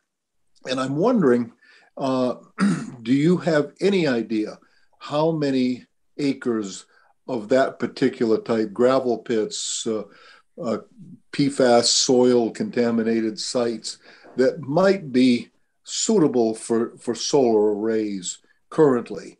Uh, or is that just continually part of the study? I think that's an important, important piece right there. Thank you. Maybe Nancy can speak more to the discussion in the stakeholder group, but I would say that, you know, that that number is still something that we are uh, where it's in development. I mean, as you know, we're just at the beginning of uh, investigating investigating PFAS contamination, and so I think that number will change over time. Thank yes, you. It I... seems to me that, it seems to me that uh, if I were a farmer, and uh, we all know the struggles that they are having to undergo today, um, it's a very lucrative thing to have someone offer me a, a, a lease or whatever. So I, I won't have to milk cows or shovel there whatever comes out of cows anymore and get paid every week or month or year or whatever. And I think that we need to just be really, really, really careful about this.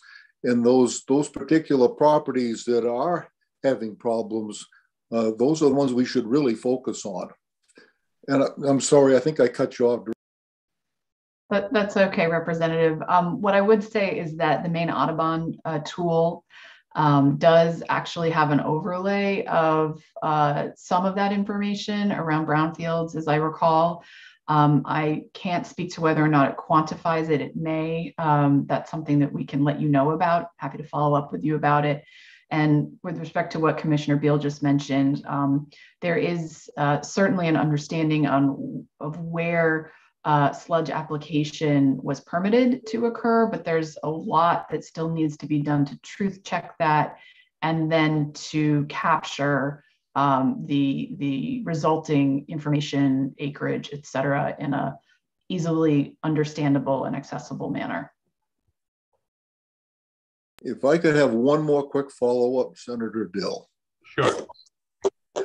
I'm just curious. I passed by the uh, solar site in Farmington a few days ago, and there was an appreciable amount of snow on on those panels. And I'm just wondering if anybody has any idea how many inches of snow, uh, how many inches of snow needs to pile up before they become virtually ineffective. I suspect an inch of snow might have an impact, but I don't know that. So I'm just curious. There was probably a, a foot of snow, and we've we've seen some more today. And I'm just wondering if anybody has any idea when those become ineffective due to snow. I do not know the answer to that. I, I do not either. I wonder if maybe Celina Cunningham from the governor's energy office might have some insight and maybe she could come through and answer anything, any questions that are energy or solar specific. Sure, we'll ask uh, Cheryl to bring Selena in, but I'll move on to Representative Pluecker while she's coming in, in case she gets stuck in cyberspace. So, Representative Pluecker. Thank you. Um, I was going to ask about the position that we you specifically mentioned, Director McBrady, at the end. The, the, can that position accomplish those three points you outlined at the end of the report between pursuing development of the centralized clearinghouse, the establishment of a robust dual use pilot program, as well as helping the municipalities with their solar planning? Um, I think at the very least that person can can get the kickoff going um, in those arenas that's desperately needed. Uh, we think that ideally, if we could move forward with the pilot program, that I think would be a a, a very um, time consuming but uh, important area of activity. Um, and we'll just have to see the capacity um, of, of those three priorities. Um, and you know, we may be needing to build this out over time, but it would be a great start to have a full-time person doing all three. Yeah, and I would just add that, you know, in terms of the, the municipal support, it might not be that we, this person could go out and go to every uh, planning board meeting, but could be looking at developing resources and looking at what's happening in other places and be sort of a clearinghouse for information that would help with those um, community level decisions. Great, I completely agree. And I'd, I'd love to see somebody like that at the department. Do you know if you've, I'm, I'm sure you do know, they've requested a position in the supplemental budget. Do we have any inklings as to whether this needs to happen through legislative initiative or if it's happening from the executive side? Um, well, I can say that you know the the coming together of this report was sort of late in the process of developing uh, the budget, and so it wasn't in our initial request because the the report wasn't done yet. So that's something we might need to talk about more. Great, thank you. And a follow up, Mr. Chair. Yes, one follow up. Thank you. Last one. I see there in your in near your, your second to last paragraph, it mentions the distributed generation stakeholder group and getting agricultural representation on that group. Is there currently representation and, and is there a way to make sure that we are being represented in that conversation? Um, I don't know whether that that connect that connectivity, that connection of ag has happened as of yet with that uh, stakeholder group, but I would certainly defer to um, Celina uh, and, and to provide an update on that stakeholder group process in general. Sure. Thank you, Thank you for the, the, the, question, Representative and, and Nancy. Um, as mentioned, I'm Celina Cunningham, Deputy Director in the Governor's Energy Office, and the legislature tasked the Governor's Energy Office with uh, standing up a distributed generation stakeholder group to explore um, the next um, uh, the development of the next uh, uh, distributed generation program for the state of Maine. And that includes a number of components when looking about at how to shape the future program. An important part of that is obviously related to siting and agricultural work that we're talking about here. The Governor's Energy Office and the stakeholder group submitted an initial report to the EUT committee in, uh, I believe, last month. As part of that, we outlined a plan for how we plan to develop the um, work of this committee over, over, the stakeholder group over the next year. Um, our final report is due at the end of 2020, at the end of the year in 2023. And as a part of that, we plan to hold listening sessions um, to make sure that we are bringing in voices that aren't necessarily fully represented on the stakeholder group, such as the agricultural community, to make sure that as we consider any sort of policy recommendations in this area, we have representation from those areas of focus. So we'll continue to coordinate with DACF going forward um, and make sure that agricultural members um, are part of future conversations around solar siting and agriculture. Director Cunningham, do you know the answer to Representative Skolfield's question about inches of snow and, you know, the impact on solarization? Oh, yes, thank you. So uh, I don't know the specific uh, in terms of the number of feet that can be Im impact the um, the output. Um, generally, in the short term, uh, snow can reduce generation output, but um, what we do know is that panels shed snow relatively quickly and continue to play an important role in our energy portfolio. Thank you. Representative Underwood. Yes, thank you, uh, Senator Dale. Uh, basically, what I was interested in is a dual use of a farm, for example, like a potato farm. If someone, if a farmer decided to use some of this land to locate a solar array, and then down the road, say three or four years, they decided this wasn't for them, they were going to go back and uh, plant potatoes again. Um, what happens? Is that I assume that's possible? Is that correct? Or once it becomes solar, is it always solar? Sure, Representative Underwood. That's a really great question. Um, so at the outset, entering into solar development on one's land is a legal contract.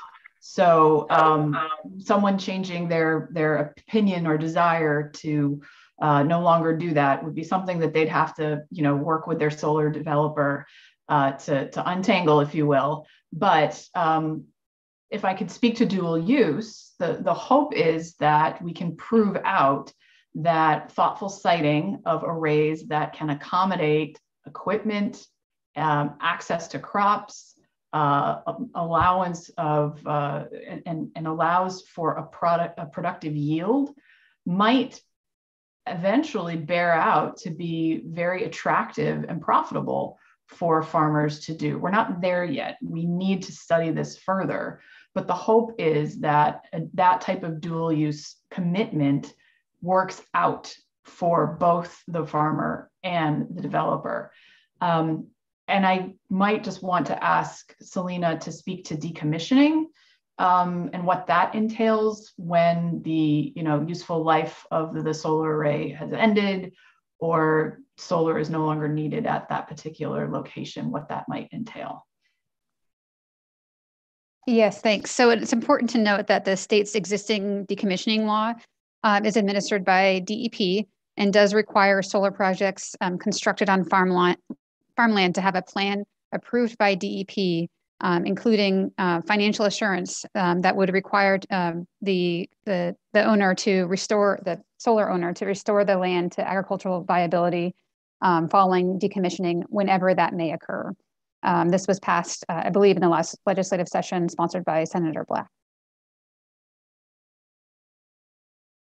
Thank you very much.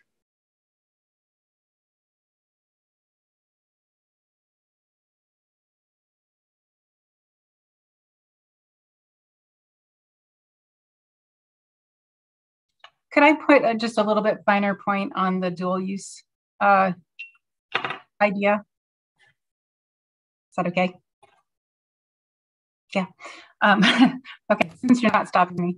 Um, I just wanted to, to be more specific. I think one of the reasons why we really feel like we need the capacity to do some research here in the state is that we do know that there are uh, dual use research projects going on in other places, but you know, Maine has its own climate, soils, you know, unique characteristics, and we would want to really make sure that whatever kinds of models are available to farmers are going to really work well here. Uh, and some other things that we would be interested in knowing more about is perhaps you know in a livestock system uh, if you're grazing animals what what is the quality and quantity of forage that can be produced uh, under solar panels and likewise if you're producing other crops what what does the production and quality look like uh, when you're growing in a dual use system and also you know is the is it a financially economic or an economically viable model for farmers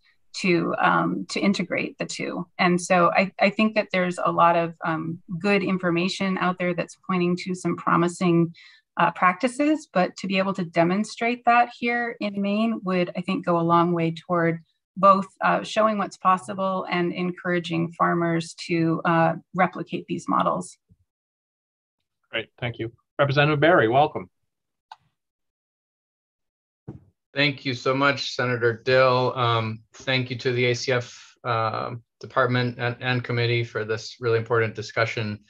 It's been uh, great to hear this update and, and to think about how it meshes with the work that's going on in our committee. Um, uh, just uh, kind of a little background from our side of the fence, if you will. Um, there there is a great deal of value in solar uh, farms from a carbon um, standpoint. They do, as much as I love forests, um, they do actually sequester more carbon, considerably more carbon than forest land does. Uh, but you know, as as has been noted, it's incredibly important that we use our uh, prime soils appropriately because we have relatively uh, limited uh, prime agricultural soils here in Maine, and and some not all forest is created equal either, for that matter. So, I think this is an incredibly important opportunity to really get it right to make sure that we're um, strategic uh, and and precise in in what we encourage where. And I think our committees will have to to to not work in the usual silos in order to make this uh, happen properly. And and uh, um, I just really want to commend the, the, governor's energy office and the department for for leading the charge and making sure that we do work across those um, traditional uh, boundaries. So um, just a couple quick points of clarification um, with uh, net metering and what we call distributed generation or DG. Um, that is traditionally in Maine, it's defined as as five megawatts or lower, and we're actually really uh, reducing the so-called net metering incentives down to two megawatts um, or lower going forward. So to put that in perspective, um, five megawatts is roughly 20 acres maximum, and uh, and two megawatts, which we're going towards, is is eight acres maximum. Give or, um, and I'm using ballpark numbers here. Uh, but even with the the fencing and and associated infrastructure, you're unlikely to need more than um, eight acres going forward for those two megawatt projects. Um, another clarifying point I just want to add is um, snow is not really a problem. It is temporarily, and there's certain kinds of snow, like this really sticky, thick stuff that built started with ice that we had recently that does tend to accumulate on the panels and stay there. But for the most part, it either um, blows off quickly or slides off quickly. And once there's even a little bit of, of uh, black showing, um, even if it just begins to slide, that heats up the panel and it and it really um, melts off the rest very quickly. So and they're really designed for that. So snow is not really an issue. Um, and I just want to touch quickly on mapping. Um, it, it's it's easy to underestimate the importance of the grid in this mapping exercise. The electrical grid is a critical um, aspect of this because for the average solar developer, um, it really limits what you can build where. Um, the the the grid because of the the um, building that's been going on, the grid is already at capacity in many many areas. And you really need to be near a, a space on the electrical grid where you can actually um, you know connect and the grid can handle it right without overloading. Um, so i think that piece of the mapping will be really important as we go forward and and figure out what can go where.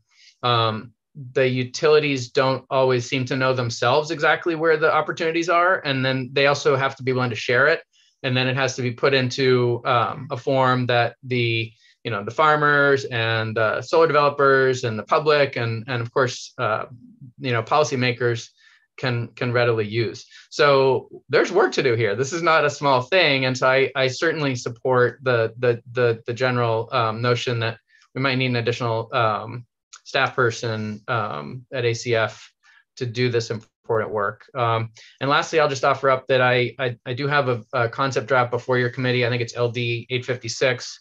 I'm happy to see that used if it's helpful in um, refining and developing some of these uh, recommendations um, that came out of LD 820. So I'll stop there and, and um, I don't really have a question. I just wanted to um, offer that up. Thank you. Representative Pluecker. Thank you, Mr. Chair. I just wanted to follow up with uh, Ms. Cunningham on is it necessary to change statute in order to get agricultural representation on the on the stakeholder group or is that just a rule that you can change your within the governor's energy office thank you for the question so the members of the um, of the distributed generation group were set by statute however we have the ability to hold additional uh, listening sessions and meetings with relevant uh, constituencies and stakeholders on different topics. And so we plan on actively doing that um, to address issues. And I, I think what we tried to do is ensure that the, the um, core members of the distributed generation group are um, uh, focused on the, uh, for instance, we're looking at cost benefit analysis of solar and other components of the, of the solar um, development of a solar program that may not be relevant to the agricultural community specifically. However, we want to make sure that we bring in those voices um, and in ways during the conversation to be most relevant and useful. And we're happy to, you know, if you have additional thoughts on how we do that, we're happy to, to have conversations around that. But we do believe we have the authority uh, to to bring in those voices for those conversations. I was just going to clarify. So you have the authority to bring in to have listening groups with farmers in them, but you don't have the authority to add uh, an agricultural representative to the group. We we could add um, additional members to this the group um, if needed. So um, we can certainly uh, take a look at that to make sure that we have um, the correct representation to address these issues. I appreciate it. Thank you. Representative Foster, welcome. Uh, thank you, Mr. Chair, and, and thank you for the opportunity.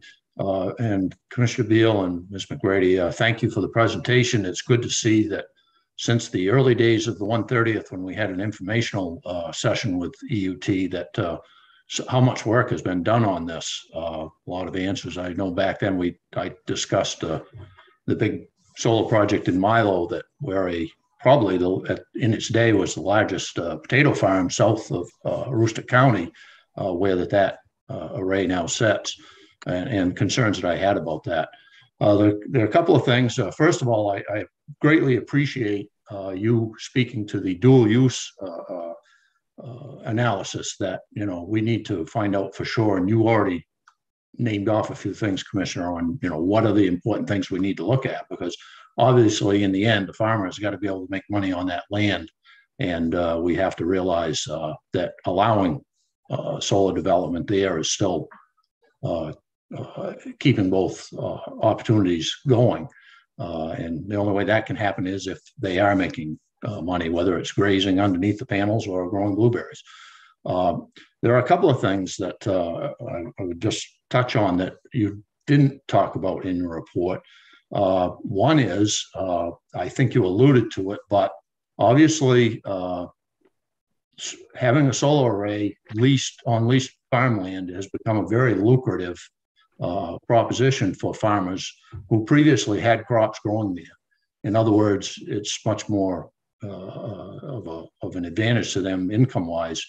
Uh, whether they're leasing land to a farmer currently, uh, uh, as some people do that don't farm the land, or that it's a farmer that owns the land, uh, we've put them in a position where that they they have to make a choice and uh, quite frankly, I, I, I'm, my question along that line would be: Are we suggesting that we will, through uh, rulemaking and/or legislation, statute, not allow farmers to make that choice if they happen to have uh, a good cropland.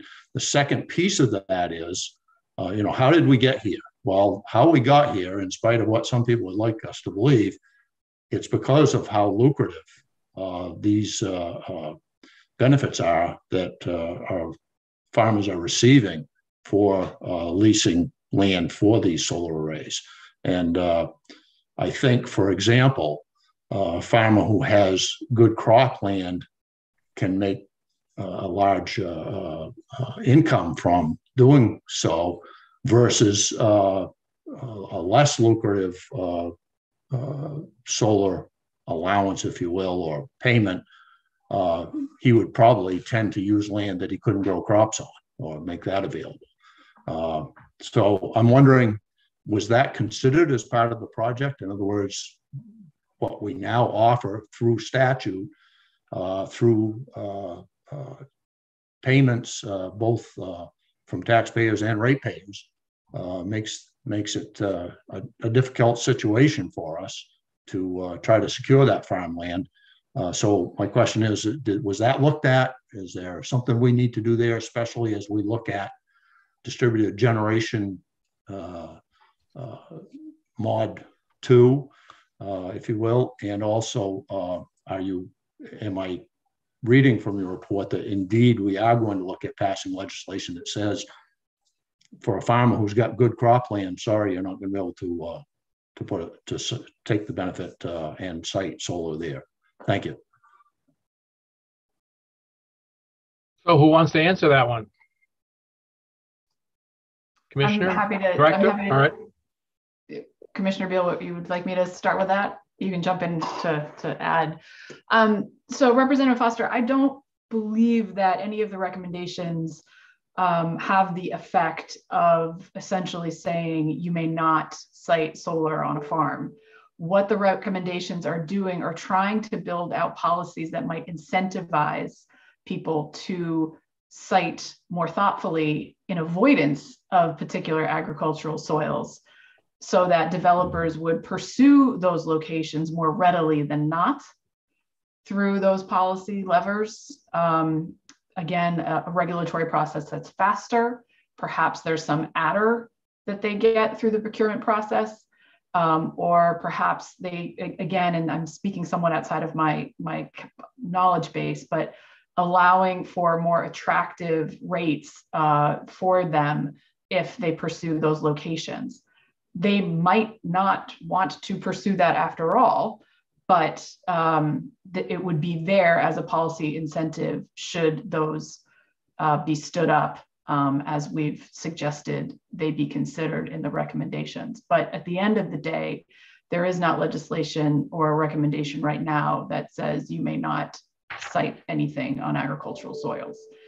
Is there anything else that you would like to add to that, Commissioner? No, I well, I would just say, yeah, I echo what Nancy's saying about, you know, we want farmers to have choices. We want them to be able to make their own decisions. We're not looking to take that opportunity away. Um, and one of the things that uh, Nancy touched on and was talked about both with the stakeholder group and in other venues is the idea of there being some kind of a mitigation fee so that if, you know, placing a solar array on prime farmland soils is unavoidable um, that there's some kind of a, a, payment that goes to perhaps protecting farmland in some other location so that we're at least um, there's some kind of a proactive benefit to apply to uh, protecting farmland elsewhere. If I may, uh, yes, follow up, sure. So I, I think uh, I would only say that uh, obviously if we could all go back even though some of us had great concerns when, when we were passing legislation to incentivize uh, solar development. If we had looked at all of these issues, we may have approached this differently, where that uh, land use would have been one of the key things we would look at, and that would have been easier to incentivize at the beginning than change it now. Uh, and, and I just think that as we look at uh, future distributed generation uh, plans and statute, uh, it's this is the time to uh, to make sure we address those going forward, as especially considering that uh, the governor's energy office is looking at uh, around 45,000 acres of solar panels by uh, by the year 2050 to uh, meet the required generation that they're looking at for for that. Thank you. Thank you. I see we have four more hands up and then we have to move on to our work session. So with that, I'll go to Representative Underwood.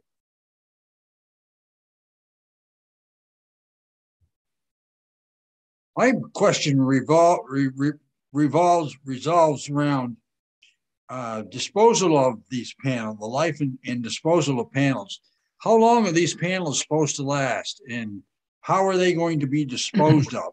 Does does they contain any PFAS or any other chemicals that are hard to dispose of?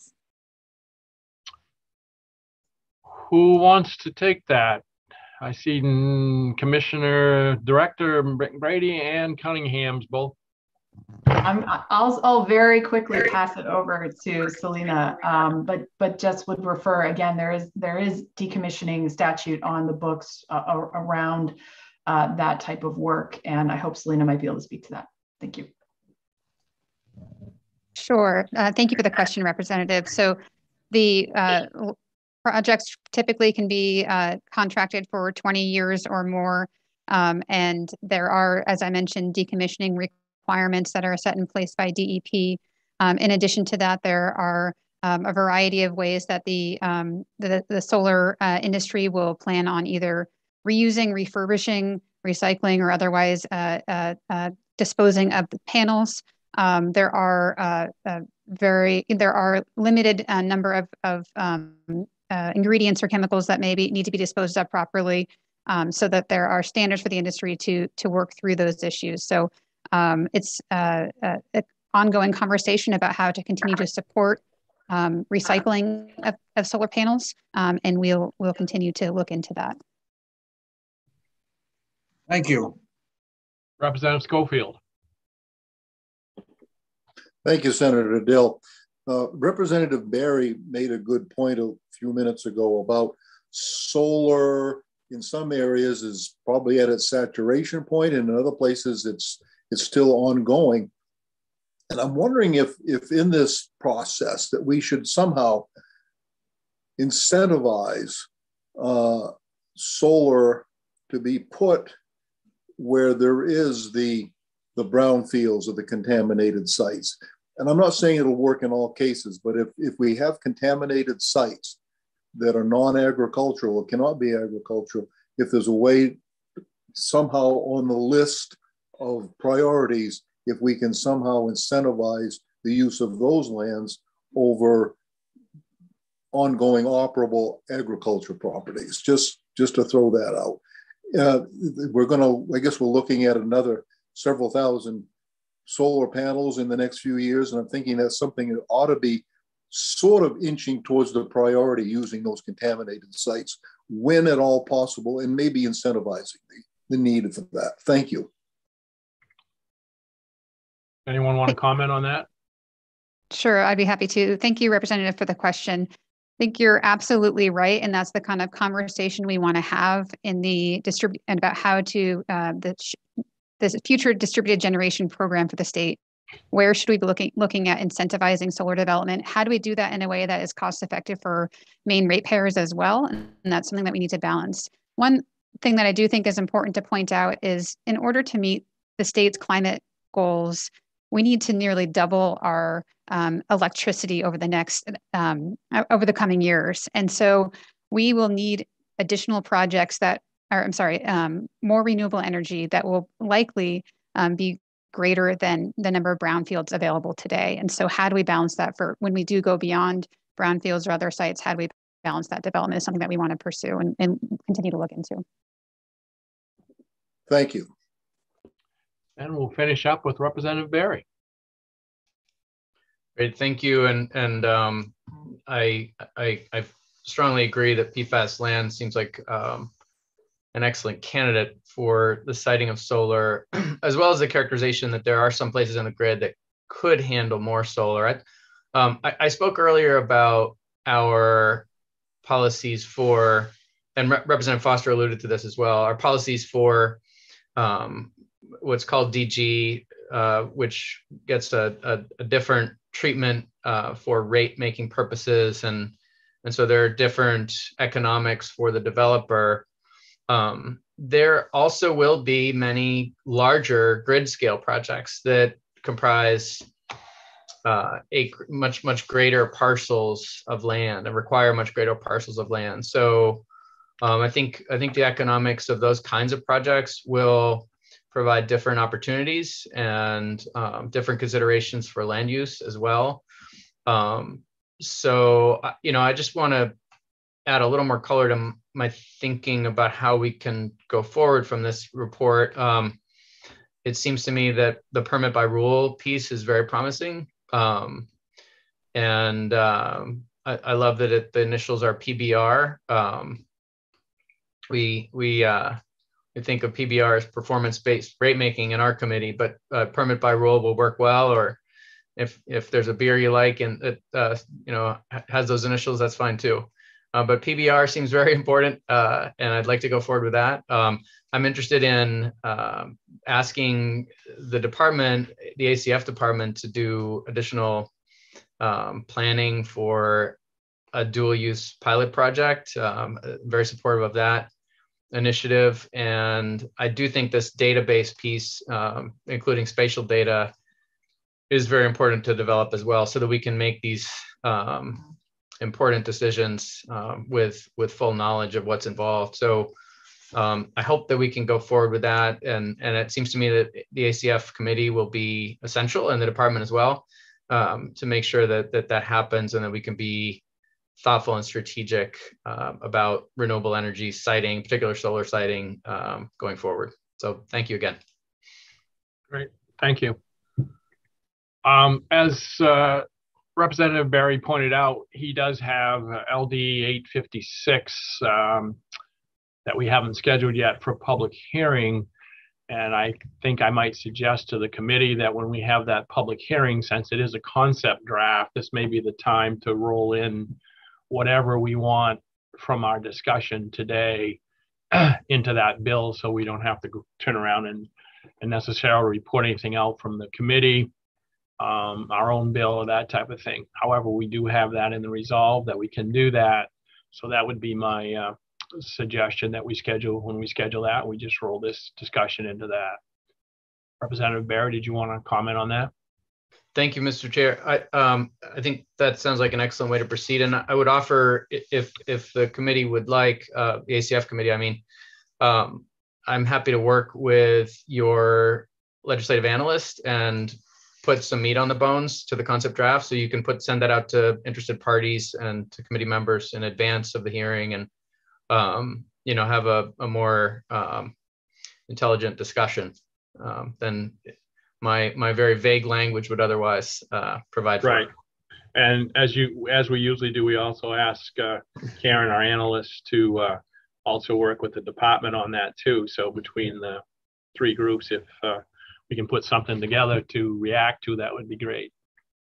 And we'll be scheduling that probably in a couple weeks. So I'll get right on it. All right.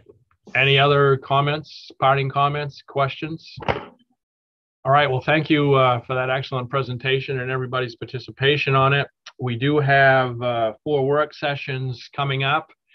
Um, it's 112. Why don't we take uh, 113? Actually, why don't we take a 12 minute break and we'll start at 125 um, with the work sessions. And we'll give everybody a chance to maybe grab a quick snack or something before we continue. Thank you. We see you in 12 minutes.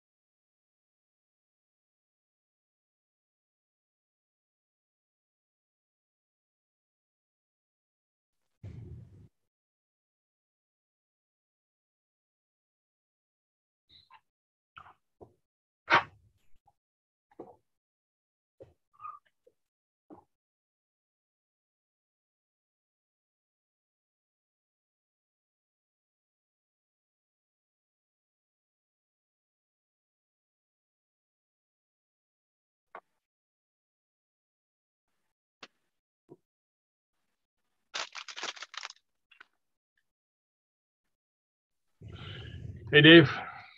Hey there, how are you? Good yourself? Not bad. I think you and you and the education committee are uh, uh, uh, working together to make sure my day is full. It was right, right on scream uh, until I joined you here. But the good thing is, I got here for five minutes and you took a 12 minute break.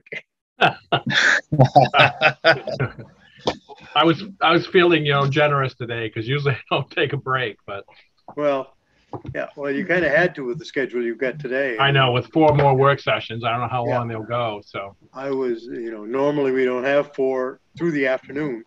Uh, boy, if I can just get get out of bed in time for these, uh, that'd be good. So I did. I did.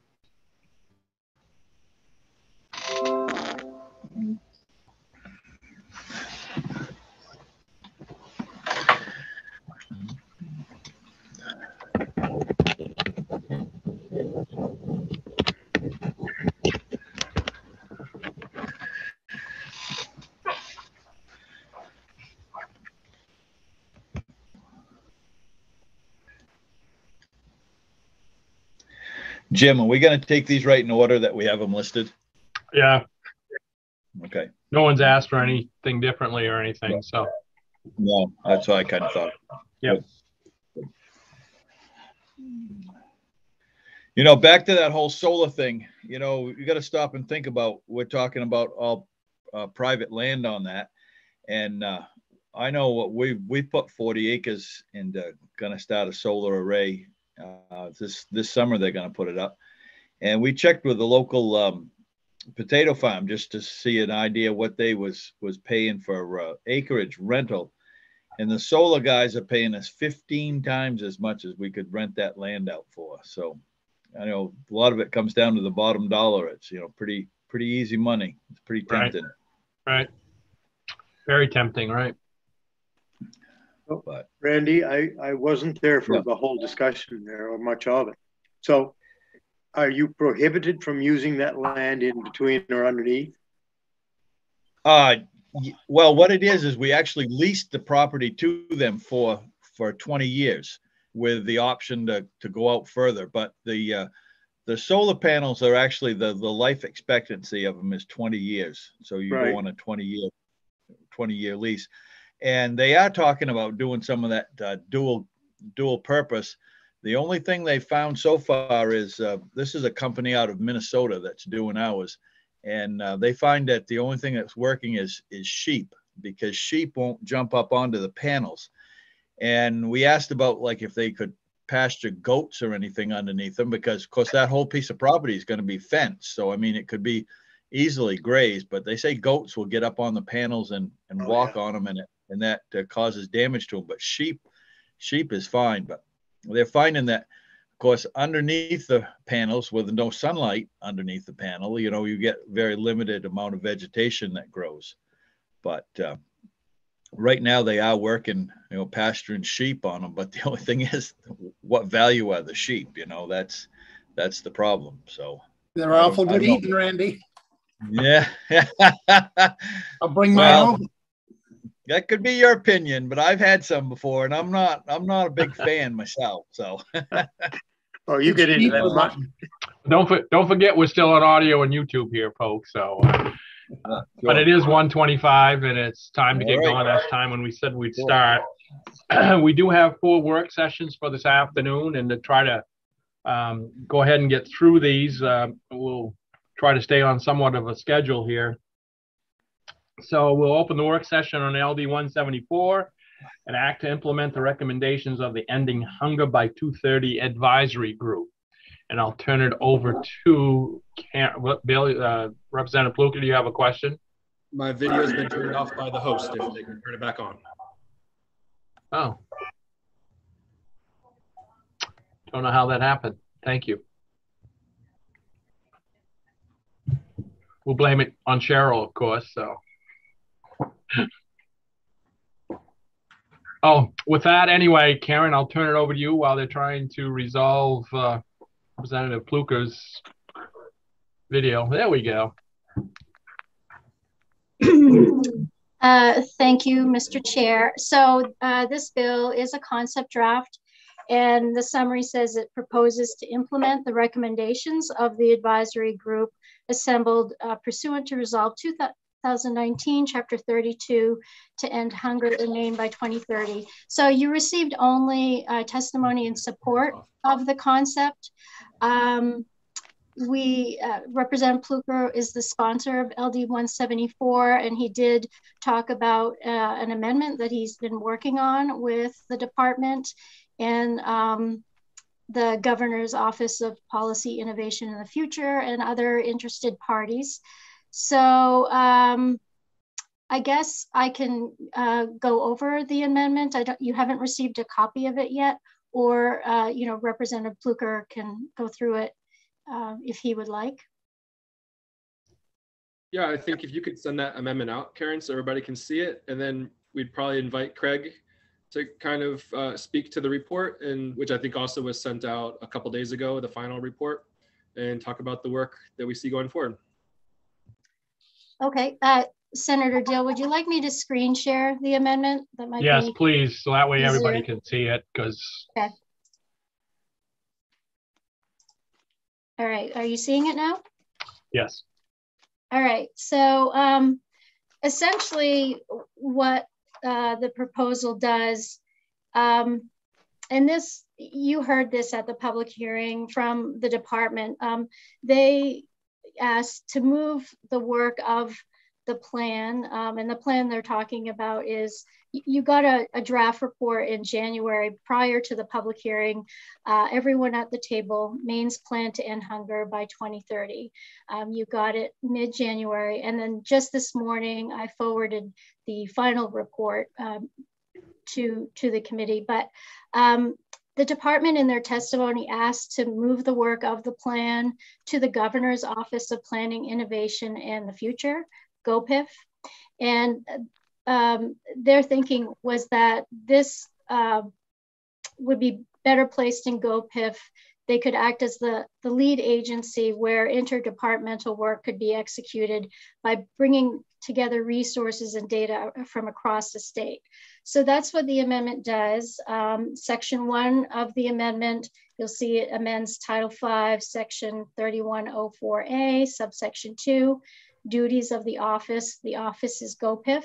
And so it adds um, paragraph F, um, where GOPIF acts as the lead agency um, to implement a strategic plan to end hunger in the state.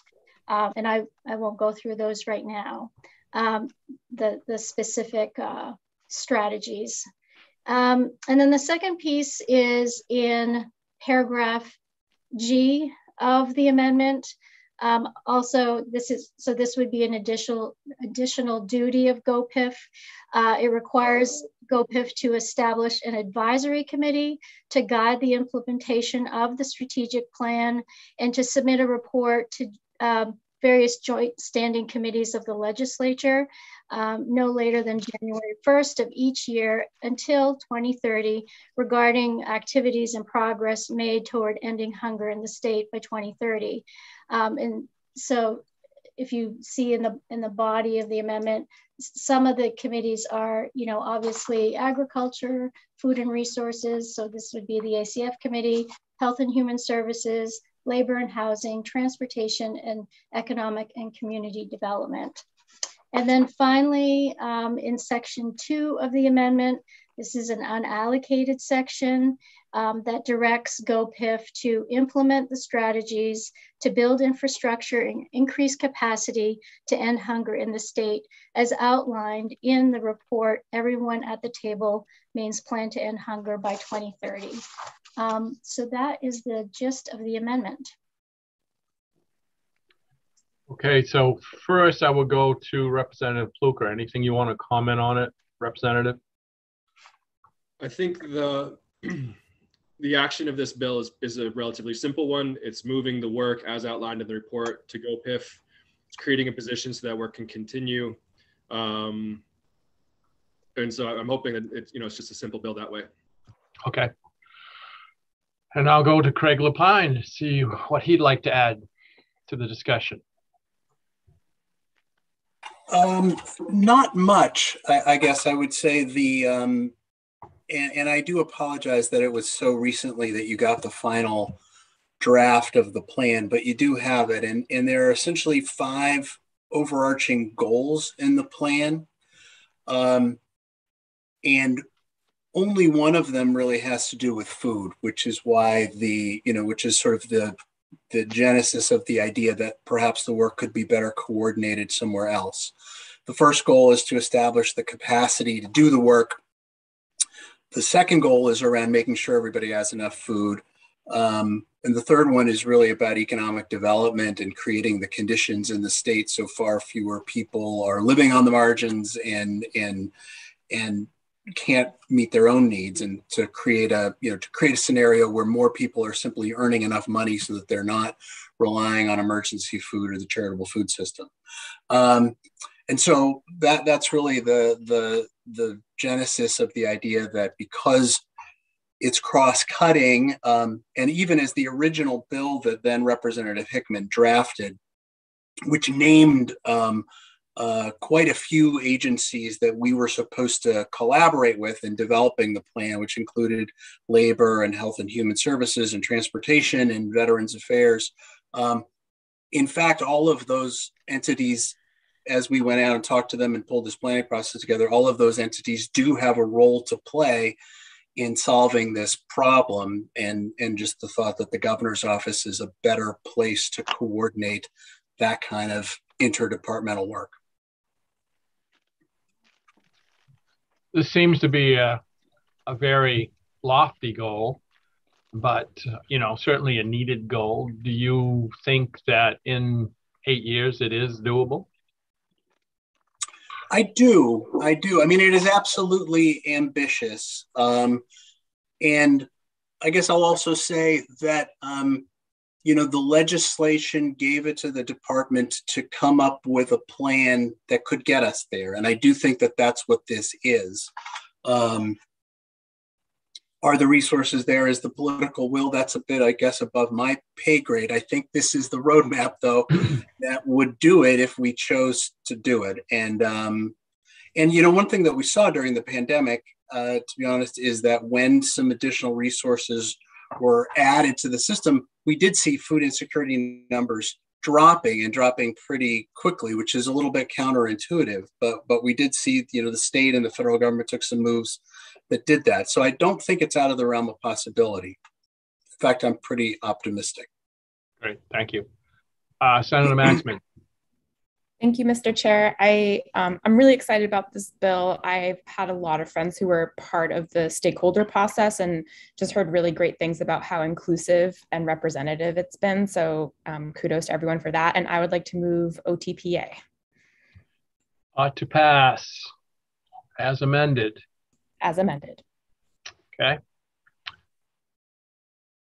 It's been seconded by Representative O'Neil. We will continue with discussion. Senator Black, did you have a question?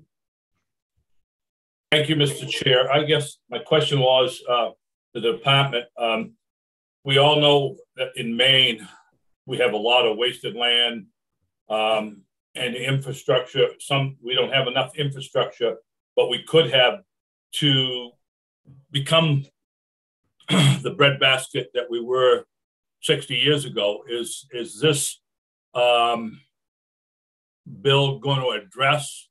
Um, I, I, can't remember uh, in in the previous uh, uh, part of the bill whether it addressed um, promoting local agriculture and infrastructure to process food uh, it, to alleviate hunger within our state that way, or whether we're going to haul it in on trucks and planes and whatever else. Oh, and it it absolutely does, and I will yield to Director McBrady as well if she has more to add. But um, I would direct you to uh, Goal B in the plan and Strategy Four, which really is about strengthening the local food system um, as a part of this solution. Um, and of course, that's very much in line with the department's objectives and um, you know the current agriculture infrastructure infrastructure investment program that we're rolling out with ARPA funds and the Agriculture, Food, and Forest Products Investment Fund, which we hope to roll out soon. Um, that that is definitely a place where I think the the objectives of this plan and the already existing objectives of the department very much line up. Representative Underwood. Thank you. This sounds like uh, if you're going to end motherhood, you can possibly, it isn't going to happen. It's the same thing with ending hunger. It isn't going to happen. And I think the goal that's been specified ending hunger is not possible. This is just another bill to create a government agency of endless proportions and to get bigger and bigger and bigger and to take and uh, make the uh, state bureaucracies much, much larger eventually. So this is a bad bill, bad idea, and I hope it doesn't pass. Thank you. Any further discussion? Seeing none. Cheryl, would you please call the roll? I will. LD 174 ought to pass as amended. Senator James Dill. Yes. Senator James Dill, yes. Senator Russell Black. Yes. Senator Russell Black, yes. Senator Chloe Maxmin. Yes. Senator Chloe Maxmin, yes. Representative Margaret O'Neil. Yes. Representative Margaret O'Neil, yes. Representative Randall Hall. Yes. Representative Randall Hall, yes. Representative Thomas Skolfield. Yes. Representative Thomas Skolfield, yes. Representative Laurie Osher. Yes. Representative Laurie Osher, yes. Representative Joseph Underwood. No. Representative Joseph Underwood, no. Representative Scott Landry. Yes. Representative Scott Landry, yes. Representative Bill Pluecker. Yes. Representative Bill Pluecker, yes. Representative Jeffrey Gifford, absent. Representative David McCrea. An enthusiastic yes. Representative David McCrea, yes. Representative Susan Bernard, absent. 10 yes, one ought not to pass, Representative? Right. Correct. One ought not to pass, and two absent. Okay, on LD 174, an act to implement the recommendations of the Ending Hunger by 2030 Advisory Group is ought to pass as amended. 10 in favor, one against, and two absent. It passes. And we will close the work session on LD 174. And we'll open up the work session on LD 493, an act to allow custom slaughterhouses to produce cuts of meat to be sold commercially in the state. And would you let in Senator Timberlake so he can be here while we kill his bill? I mean, while we work his bill? Yeah. Would you like me to keep um, the DAF's person in? Sure.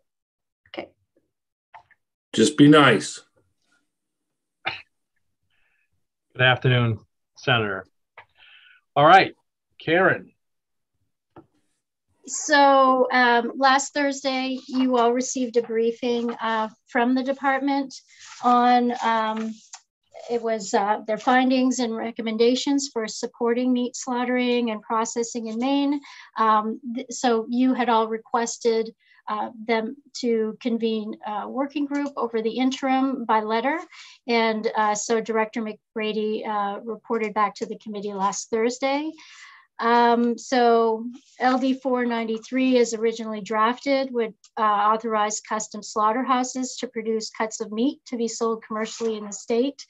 Um, the in in the the PowerPoint and, and in the report itself, there were uh, five primary recommendations um, that that came out of this report. I think uh, two of them I, I think could um, one is um, Uni University of Maine Cooperative Extension Hazard Analysis Critical Control Point uh, position that could be uh, a recommendation or I would see legislation is necessary or at least um, something to be included in the supplemental budget if that's what the committee wanted to do. And then another recommendation that I th thought um, may require legislation is supporting funding for a Maine specific feasibility study.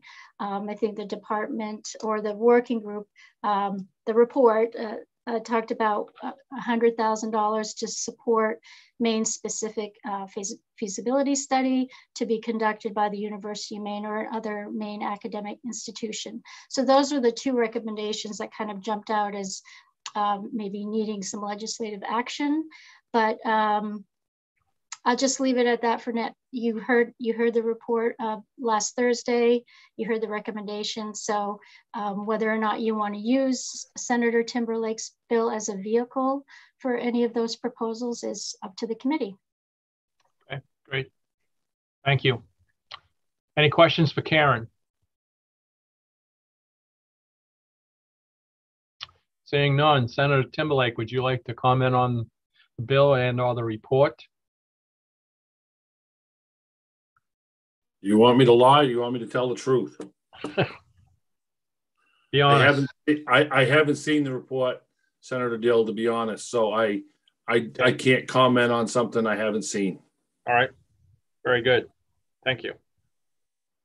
Director McBrady, any comments you would like to make? Uh, sure. Thank you, everyone. My name is Nancy McBrady. I'm the Bureau Director of the Bureau of Ag, Food and Rural Resources.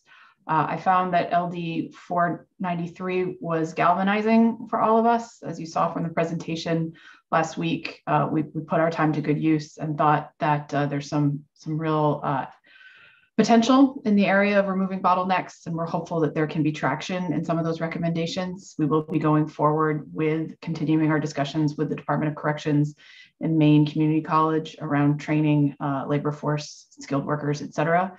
Um, Senator Timberlake, Timberlake, happy to discuss the report at any time. I believe we, we did send a copy your way last week um, and happy to chat through it with you. Um, and overall, with respect to the underlying LD 493, we do stand by our original testimony that was not supportive of that uh, legislation at that time. Okay. Um, so from your recommendations, there was what uh, five, I think it was, and as Karen pointed out, a couple of them, in her estimation, needed uh, possible legislation. But from your angle, were the other recommendations something that you can handle through rulemaking or as you just move forward?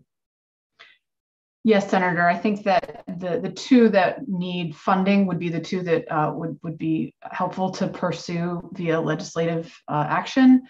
Um, we are committed to pursuing our effort with, um, as I mentioned, other state agencies and partners around exploring development of training programs. We will need time to formulate you know any recommendations of policy that we could come back to you all next fall with I, I, don't believe we need a resolve to tell us to do that we'll be doing it anyway but if you wanted to certainly feel free to add that to it um, and then I think the other things we were going to try and find funding ourselves to help uh, the University of Maine Cooperative Extension expand its livestock uh, assistance and training. So did that answer your question? Yeah, I think that leads us to two things that uh, Karen pointed out that probably does need some help because I remember you saying that there was no funding or you didn't put funding in um, the supplemental budget from the department to fund the HACCP position and the other training as we went forward. Questions, Representative Landry. Uh, thank you, Senator Dill. Uh, good afternoon, uh, Director McBrady. So the compliance with the federal regulations is something that can be worked out. Initially in your first testimony, March 9th of 2021, you were not in favor of it or worried about that aspect?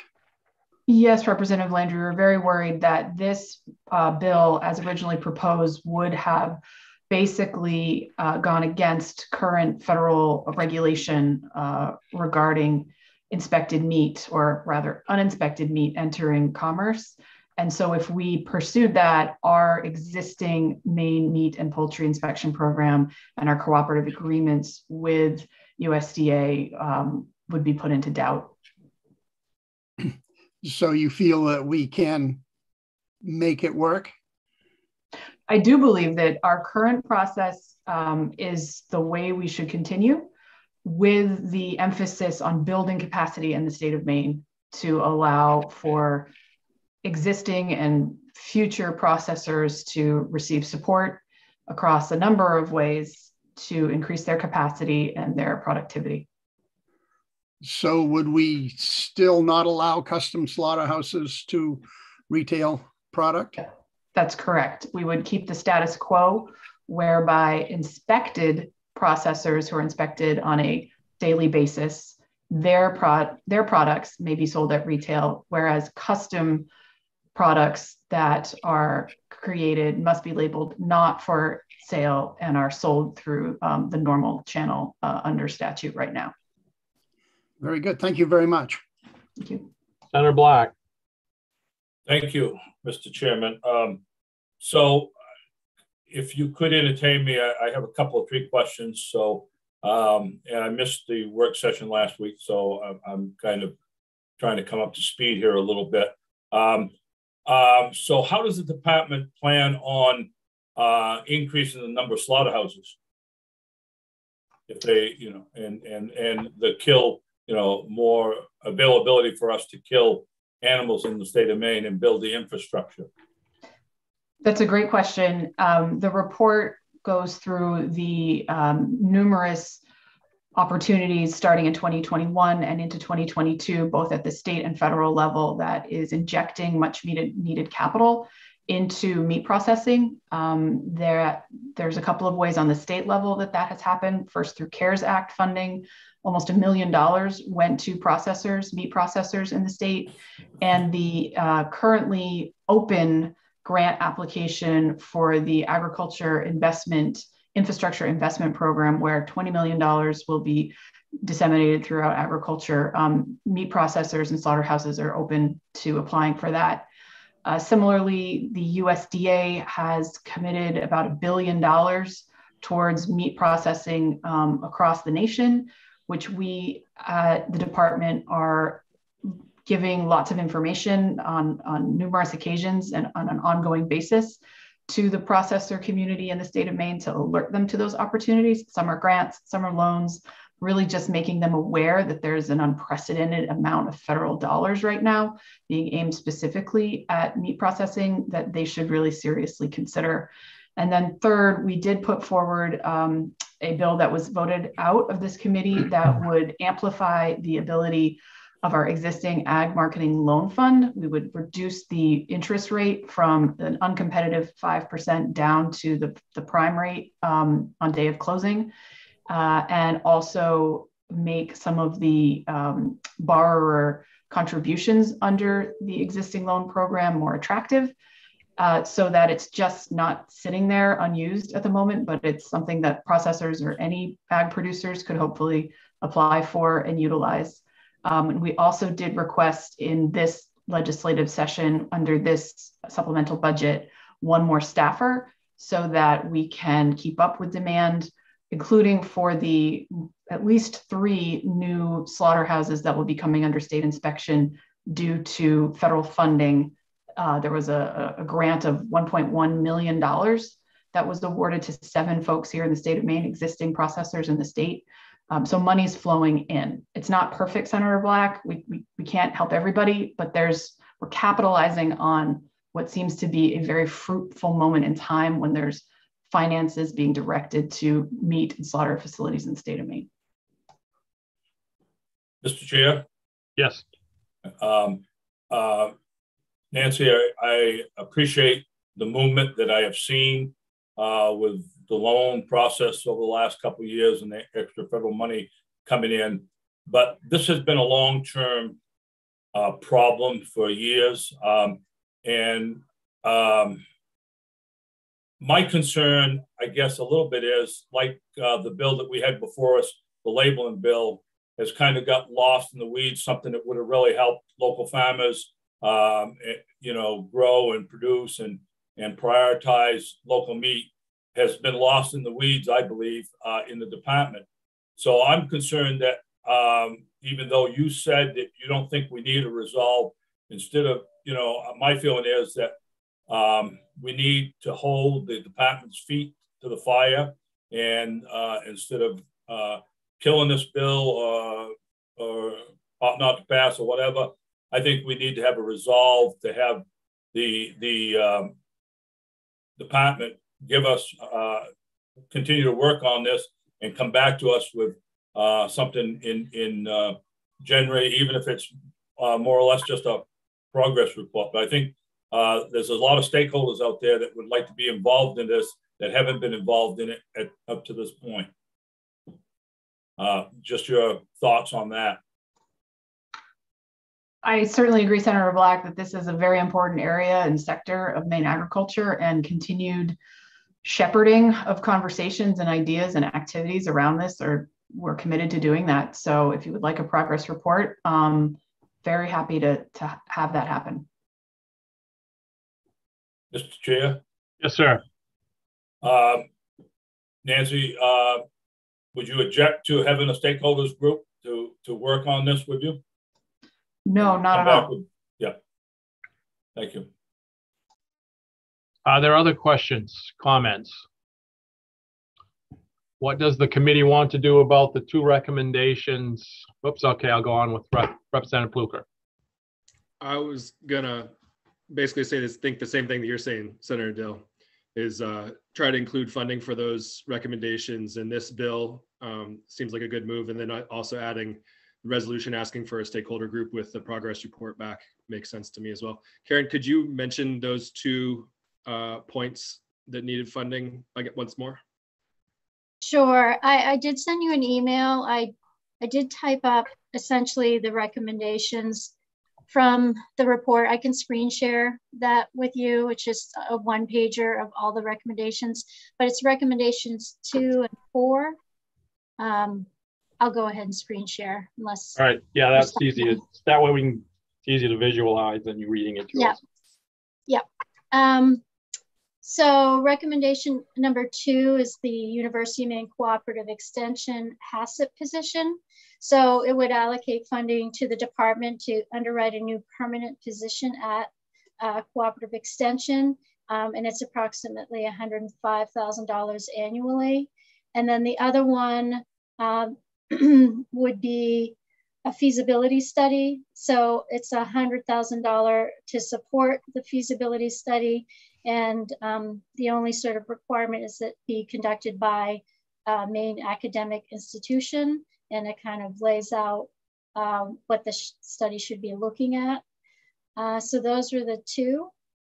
And then um, it sounds like uh, committee members also would like to sort of have a unallocated section, if you will, that would direct um, the department to continue convening uh, stakeholders over the interim and to uh, provide another progress report in January of 23 on, um, on this topic.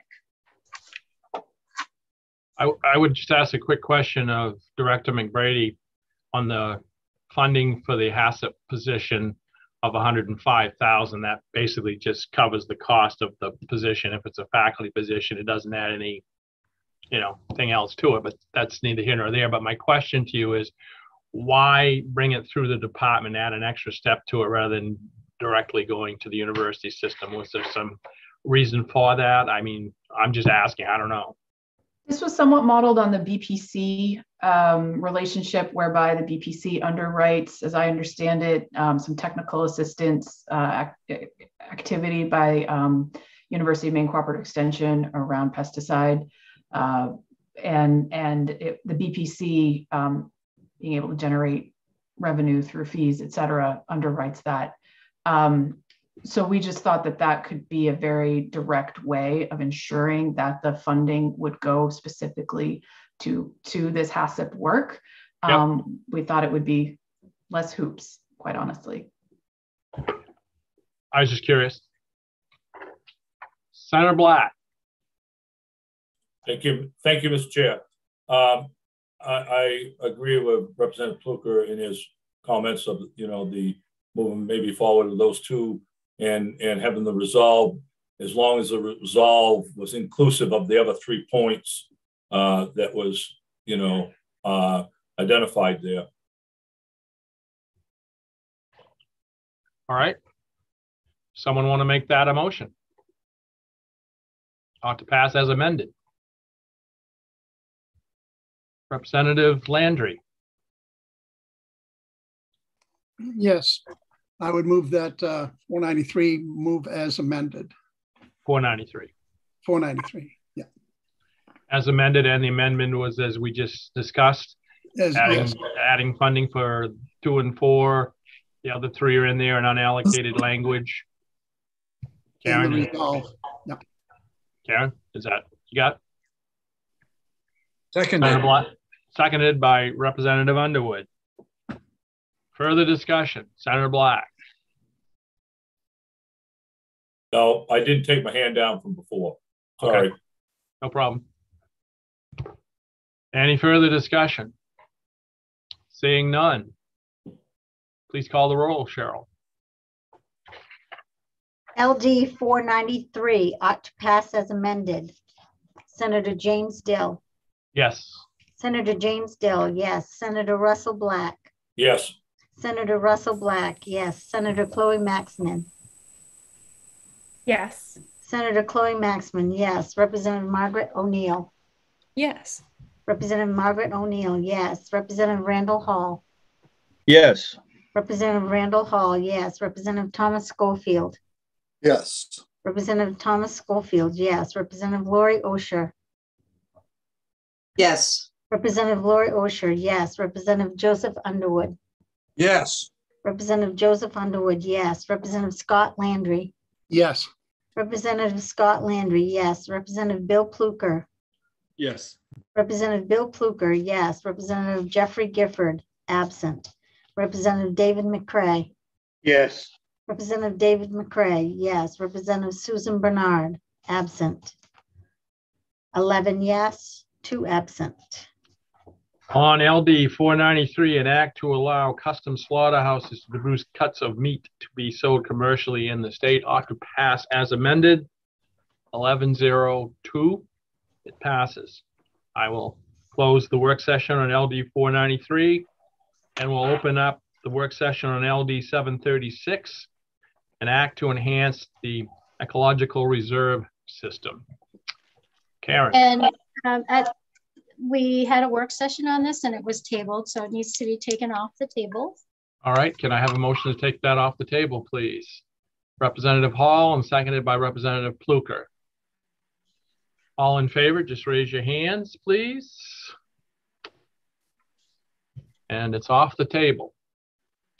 Karen, So um, I guess how things stand, uh, so this uh, Representative Grohoski, the um, sponsor of the concept bill, uh, did put forth a proposed amendment that would replace the concept. And um, so that was sent a, a few days prior to the public hearing, and that's what the testimony was about. And then um, hopefully you did see, uh, since that time, Senator Dill um, also put forth an amendment that made um, some changes to Representative Grohoski's uh, proposal. Um, I won't go through that now, but one thing I wanted to bring up, there was the question uh, raised at the, the last work session of whether this would uh, trigger um, Article 9, Section 23 of the Maine Constitution. Um, and I've, I forwarded the email chain um, between me and the Assistant AG, Lauren Parker. But basically, the question um, was posed whether uh, Representative Grohoski's amendment um, would trigger that section of the Maine Constitution. And Section 23, of course, is um, essentially public lands um, designated by legislation. Um, implementing this section may not be reduced or its use is substantially altered except on the vote of two thirds of all members elected to each house. So more directly, the question is, does uh, the proposed amendment uh, substantially alter the use of public lands and as a result require two thirds vote of the legislature? So um, uh, I think initially this question was posed to the director of the Bureau of Parks and Lands, uh, Andy Cutko, and um, the Attorney General's office asked that the question come directly from the committee. And so I did uh, submit an email on behalf of the chairs. And um, Assistant Attorney General uh, Lauren Parker responded that um, I'll just I'll just read part of her email. Um, as I understand it, the proposed amendment would, among other things, increase to 8% from 6% the acreage of operable timberland on public lands that the director may designate as ecological reserves. I understand that the Bureau of Parks and Lands does not consider the proposed amendment to substantially alter the uses of public lands. I agree. Although the law court has not yet opined on the meaning of Article 9, Section 23 of the Maine Constitution, I do not think increasing the cap to 8% would substantially alter the uses of public lands. As a result, I think the legislature may enact the proposed amendment by simple majority vote as opposed to a two thirds vote of all members elected to each house. So that was um, a key question at the last work session. So I'm, I'm happy to Senator Dill, if you want to talk about your proposal um, or if you want me to go through it, I'm happy to do that. You can go through it, Karen. There's just two um, quick changes in it. So if you want to bring those up. Sure. Um, and this was sent to you a few days ago. Um,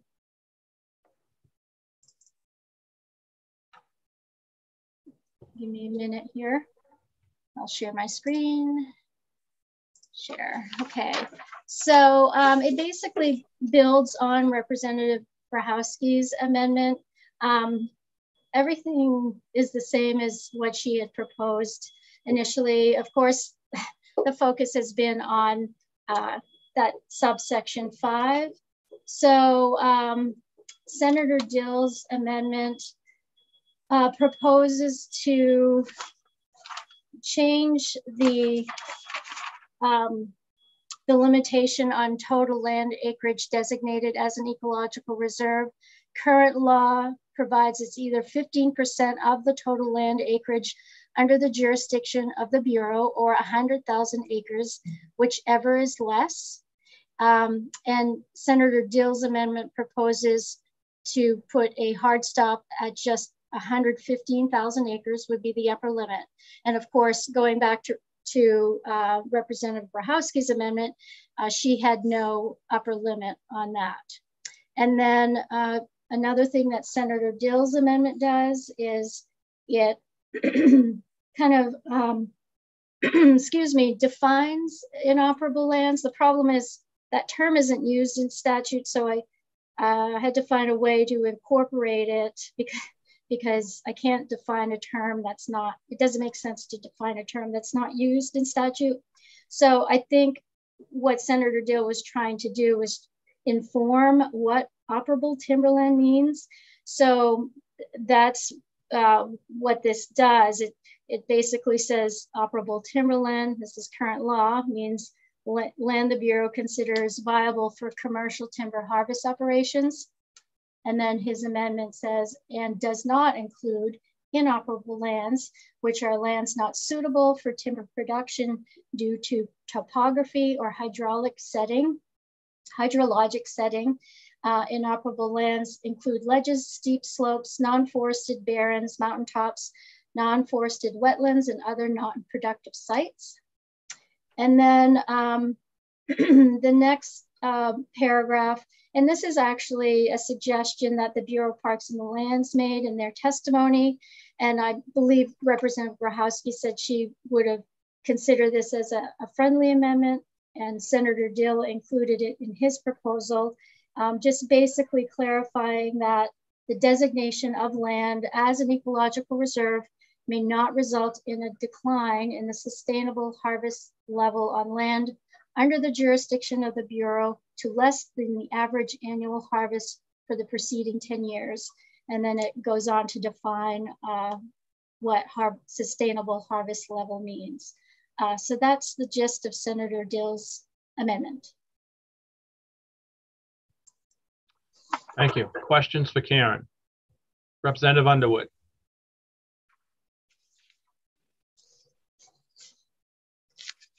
I have one quick question. Where can I locate uh, Senator Dill's amendment real quickly, if I could?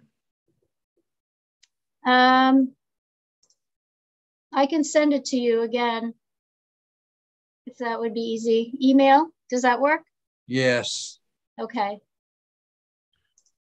Are there other questions, comments?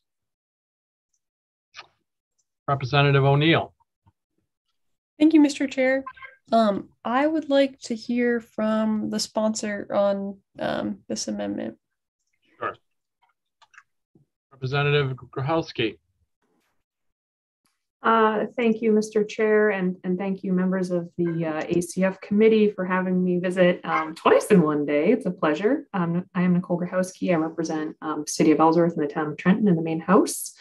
Um, I, I think while there are um, parts of the amendment that I, I'm not um, a huge fan of in terms of the policy implications of, of putting a strict cap um, where something like a percentage might make more sense um, and be a little more future proof. I do, in, in talking with Senator Dill, recognize his um, reasons for uh, proposing that um, strict cap, if you will.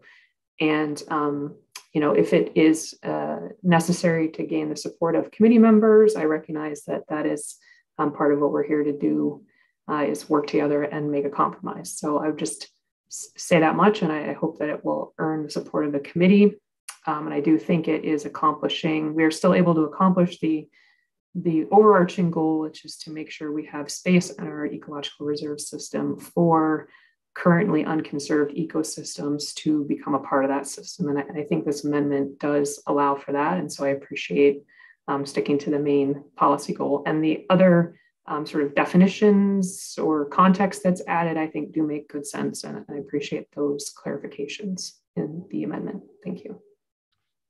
Senator Black.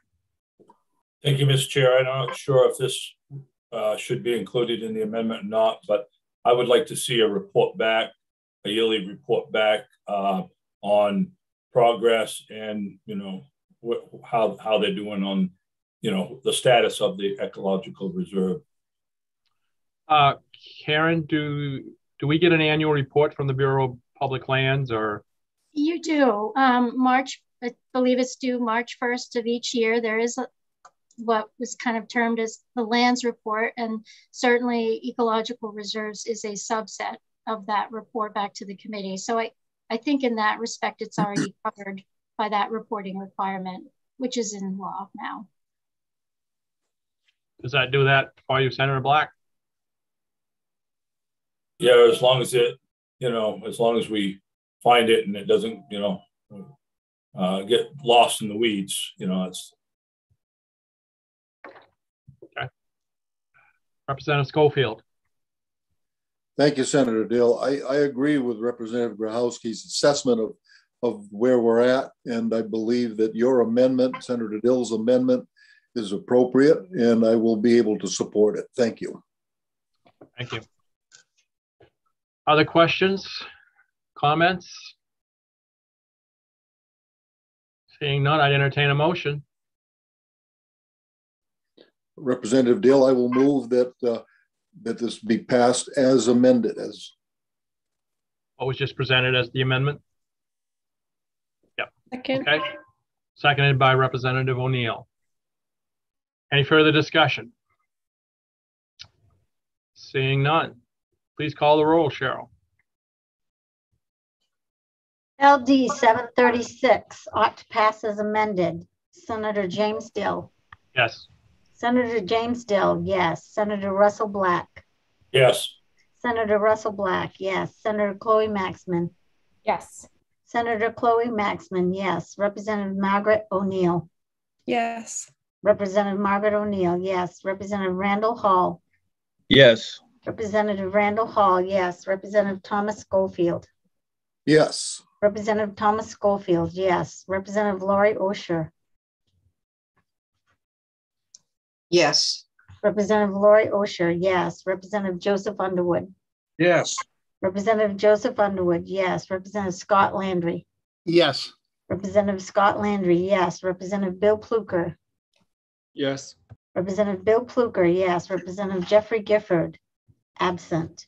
Representative David McCrea. Yes. Representative David McCrea, yes. Representative Susan Bernard, absent. 11 yes, two absent. On LD 736, an act to enhance the ecological reserve system passes 11, 0, and two absent. And I will close the work session on LD 736 and we'll open the work session on LD 1929, an act to provide assistance to areas severely infested with brown-tail moths. And I will turn to Karen again.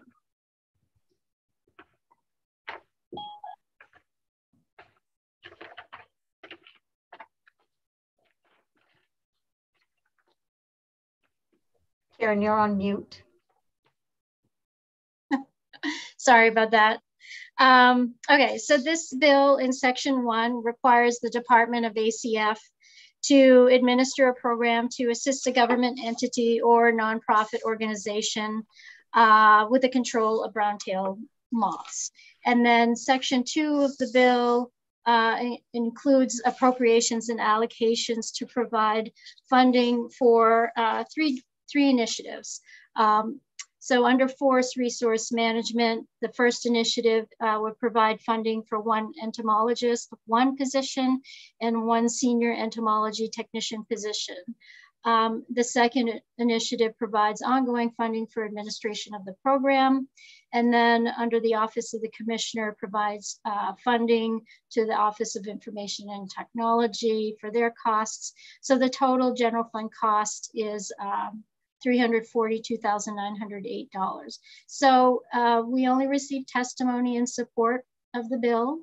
Um, and um, the only thing I want to point out is, uh, and Rebecca Graham from Maine Municipal Association spoke to this in her testimony, is there is a current law in Title 22, uh, which is kind of public health related, that the director of the Bureau of Health may declare an infestation of brown-tail moths is a public health nuisance. And uh, so the declaration can either be made on the director's own initiative or on petition to the director by municipal officers in a municipality affected by the infestation. So as Rebecca pointed out, this allows a municipality to expend more of its own funds to conduct um, aerial spray operations if that's what the community, community wants to do. So um, in terms of information requests, Representative O'Neil, I did ask um, the state entomologist at the Maine Forest Service, um, Allison Kanoti, and also I think she posed a question to Maine Municipal Association about wanting um, examples or kind of to spell out more what the costs have been to municipalities. So I will uh, leave it at that for now. Representative O'Neil, do you need to hear from uh, Allison Kanoti? Was there a question that you'd asked her or did we get the information or? Thank you, Mr. Chair. I would appreciate hearing from um, Allison Kanoti or um, if someone from MMA is here, just to hear Rebecca some Graham, yep. Yeah. We'll let, let, them both in. Yep. And the question had to do with um, just the burden that municipalities are bearing right now.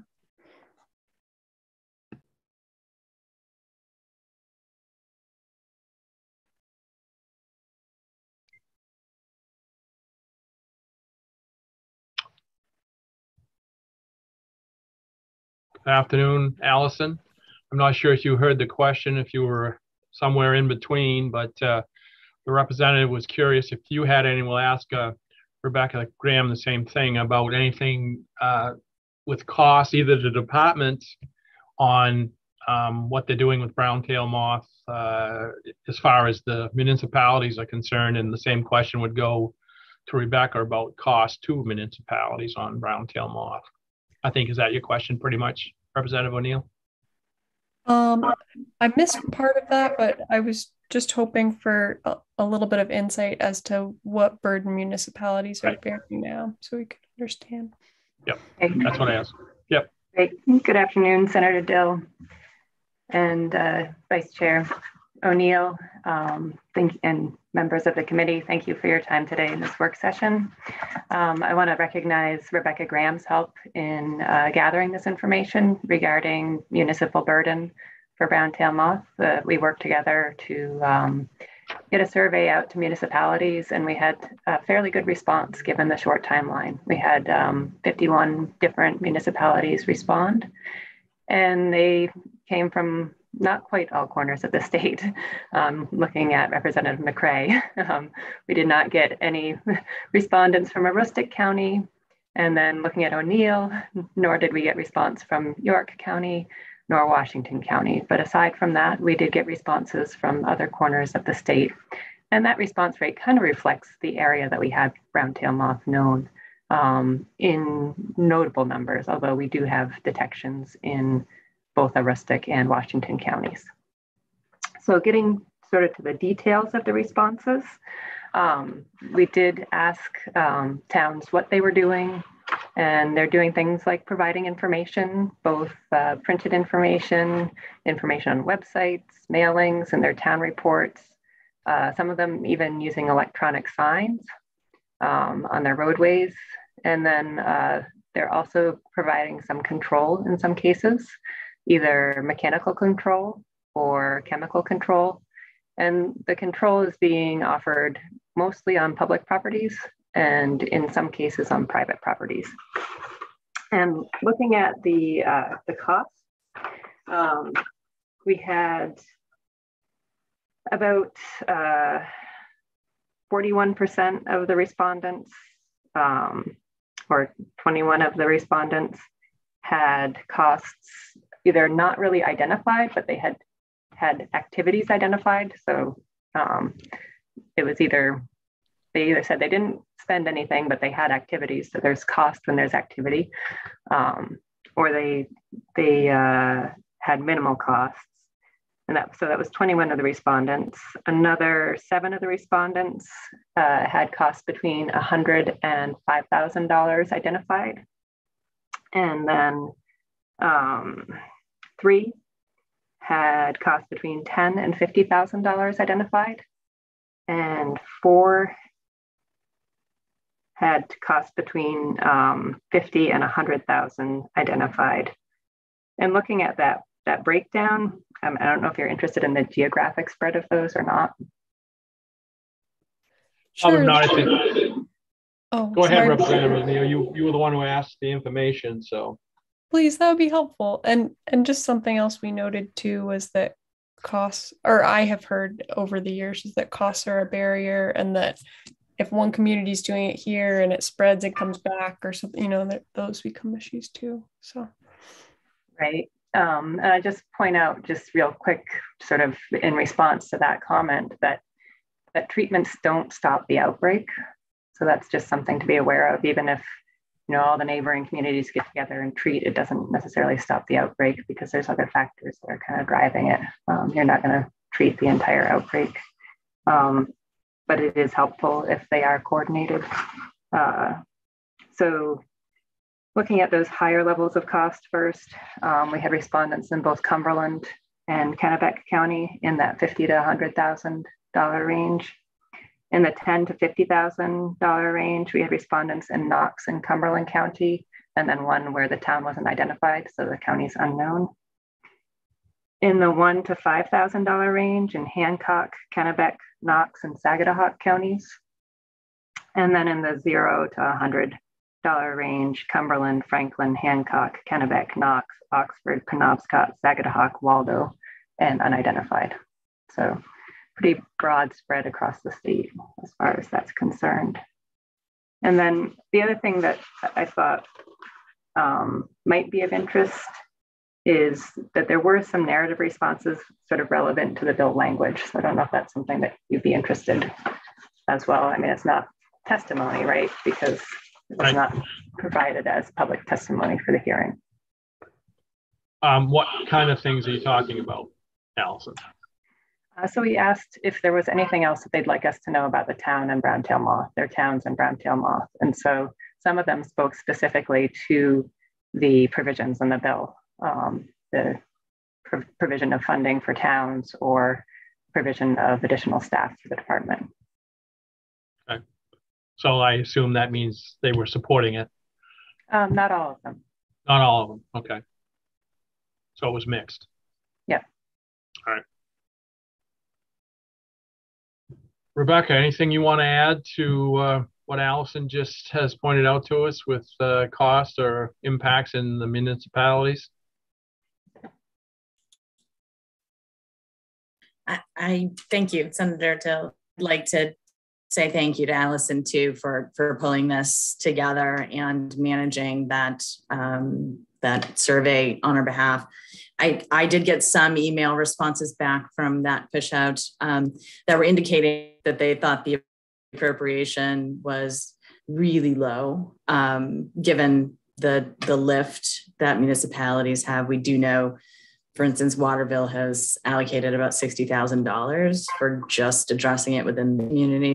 They felt the, the appropriation was, was rather low, but um, saw a lot of benefit in the coordinated effort and having a state level partner in terms of being able to direct that uh, and additional staff.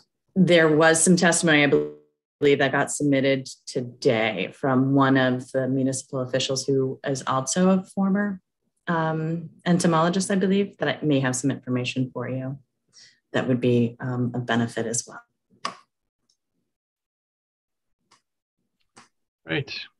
Any other questions anyone has?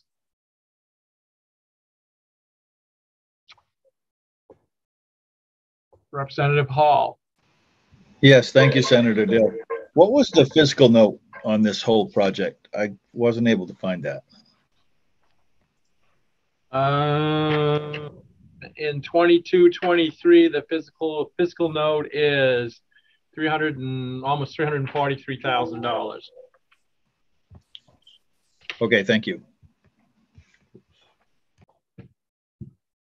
Representative O'Neil. Thank you, Mr. Chair. Um, I agree that this is too small and, and, you know, we have a lot of competing priorities, but I do think it's a good start to have um, to have a more coordinated approach and begin um, assisting municipalities in coordinating. So for that reason, I want to move ahead with an ought to pass. Okay. So I have an ought to pass, seconded by Representative Skolfield. Any further discussion?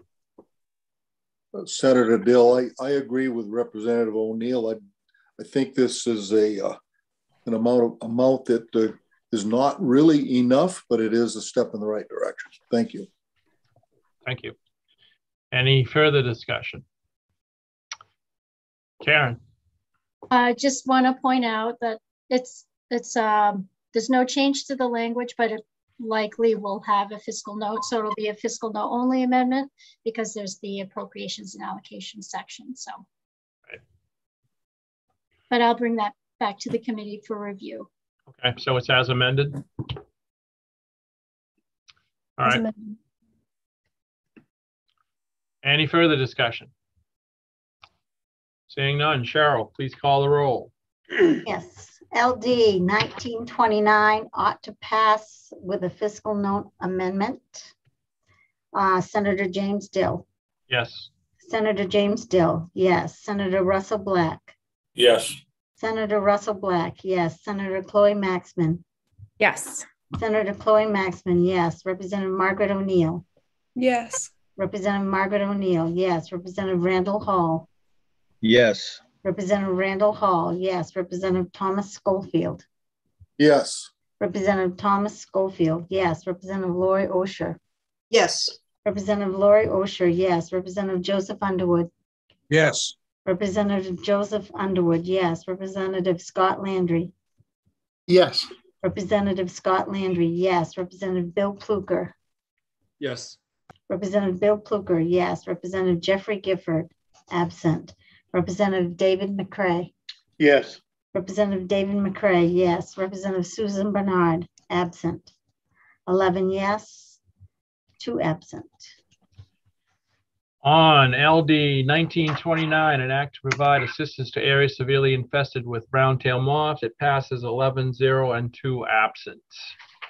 And I will close the work session on LD 1929 and ask Karen, anything else for us today?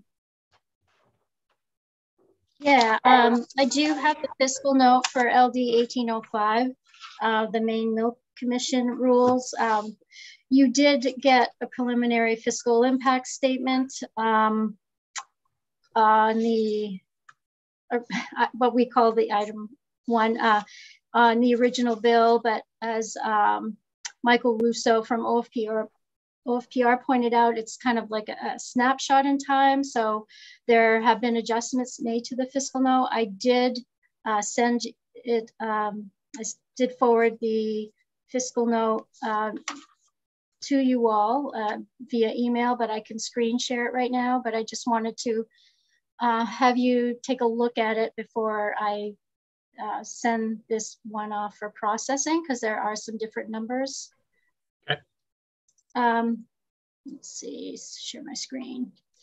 Um, so essentially, um, there is a difference. Um, I think the original preliminary fiscal impact statement had approximately a, a $10 million fiscal impact in state fiscal year uh, ending 23, and now it's uh, 8.75 million. And then the projections initially in the, the first uh, estimate that you got were approximately 8.8 million uh, for fiscal years 24 and 25.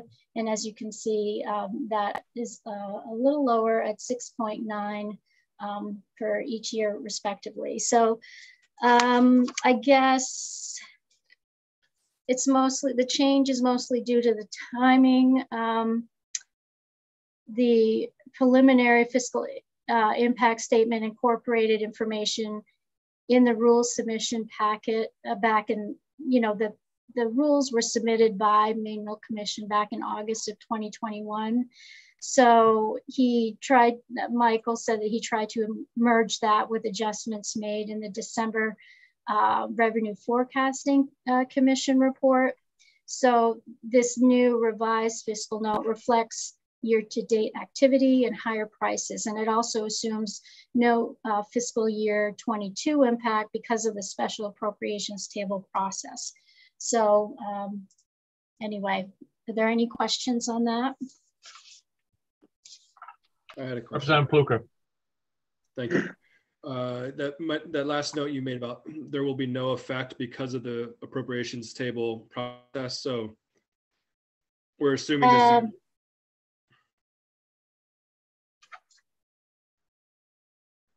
sorry. Uh, because it, it probably, uh, by the time the uh, rules go into effect, it will have no net effect on the current fiscal year. Okay, gotcha now, because it won't happen until after July 1 or whatever. Yep. Thank you. Other questions? Seeing none. Anything else, Karen? Um, no, uh, we meet on Tuesday. Only meeting, uh, we're not meeting on, on Thursday of this week because you have session at 2 p.m. and then there's the state of the state address. So we will, next time we meet is on the 15th. Uh, you're getting another briefing on um, the use of herbicides on school grounds, and then you have a public hearing on three bills. Very good. And I don't know if uh, you still want to, but chairs and leads, uh, if we, we want to meet real briefly to discuss the ACF calendar after after Yep. this. Okay. Sure. Representative Pluecker. Do we know when the PFAS uh, briefing, the date of the PFAS briefing is? 17th. Okay. Uh, Thank you. Yep. Anything else, Karen? Nope. Cheryl, anything from you? Nope. All right. Chairs and leads, we can stay on a little bit and go from there. Thank you all. Motion to adjourn? Yes.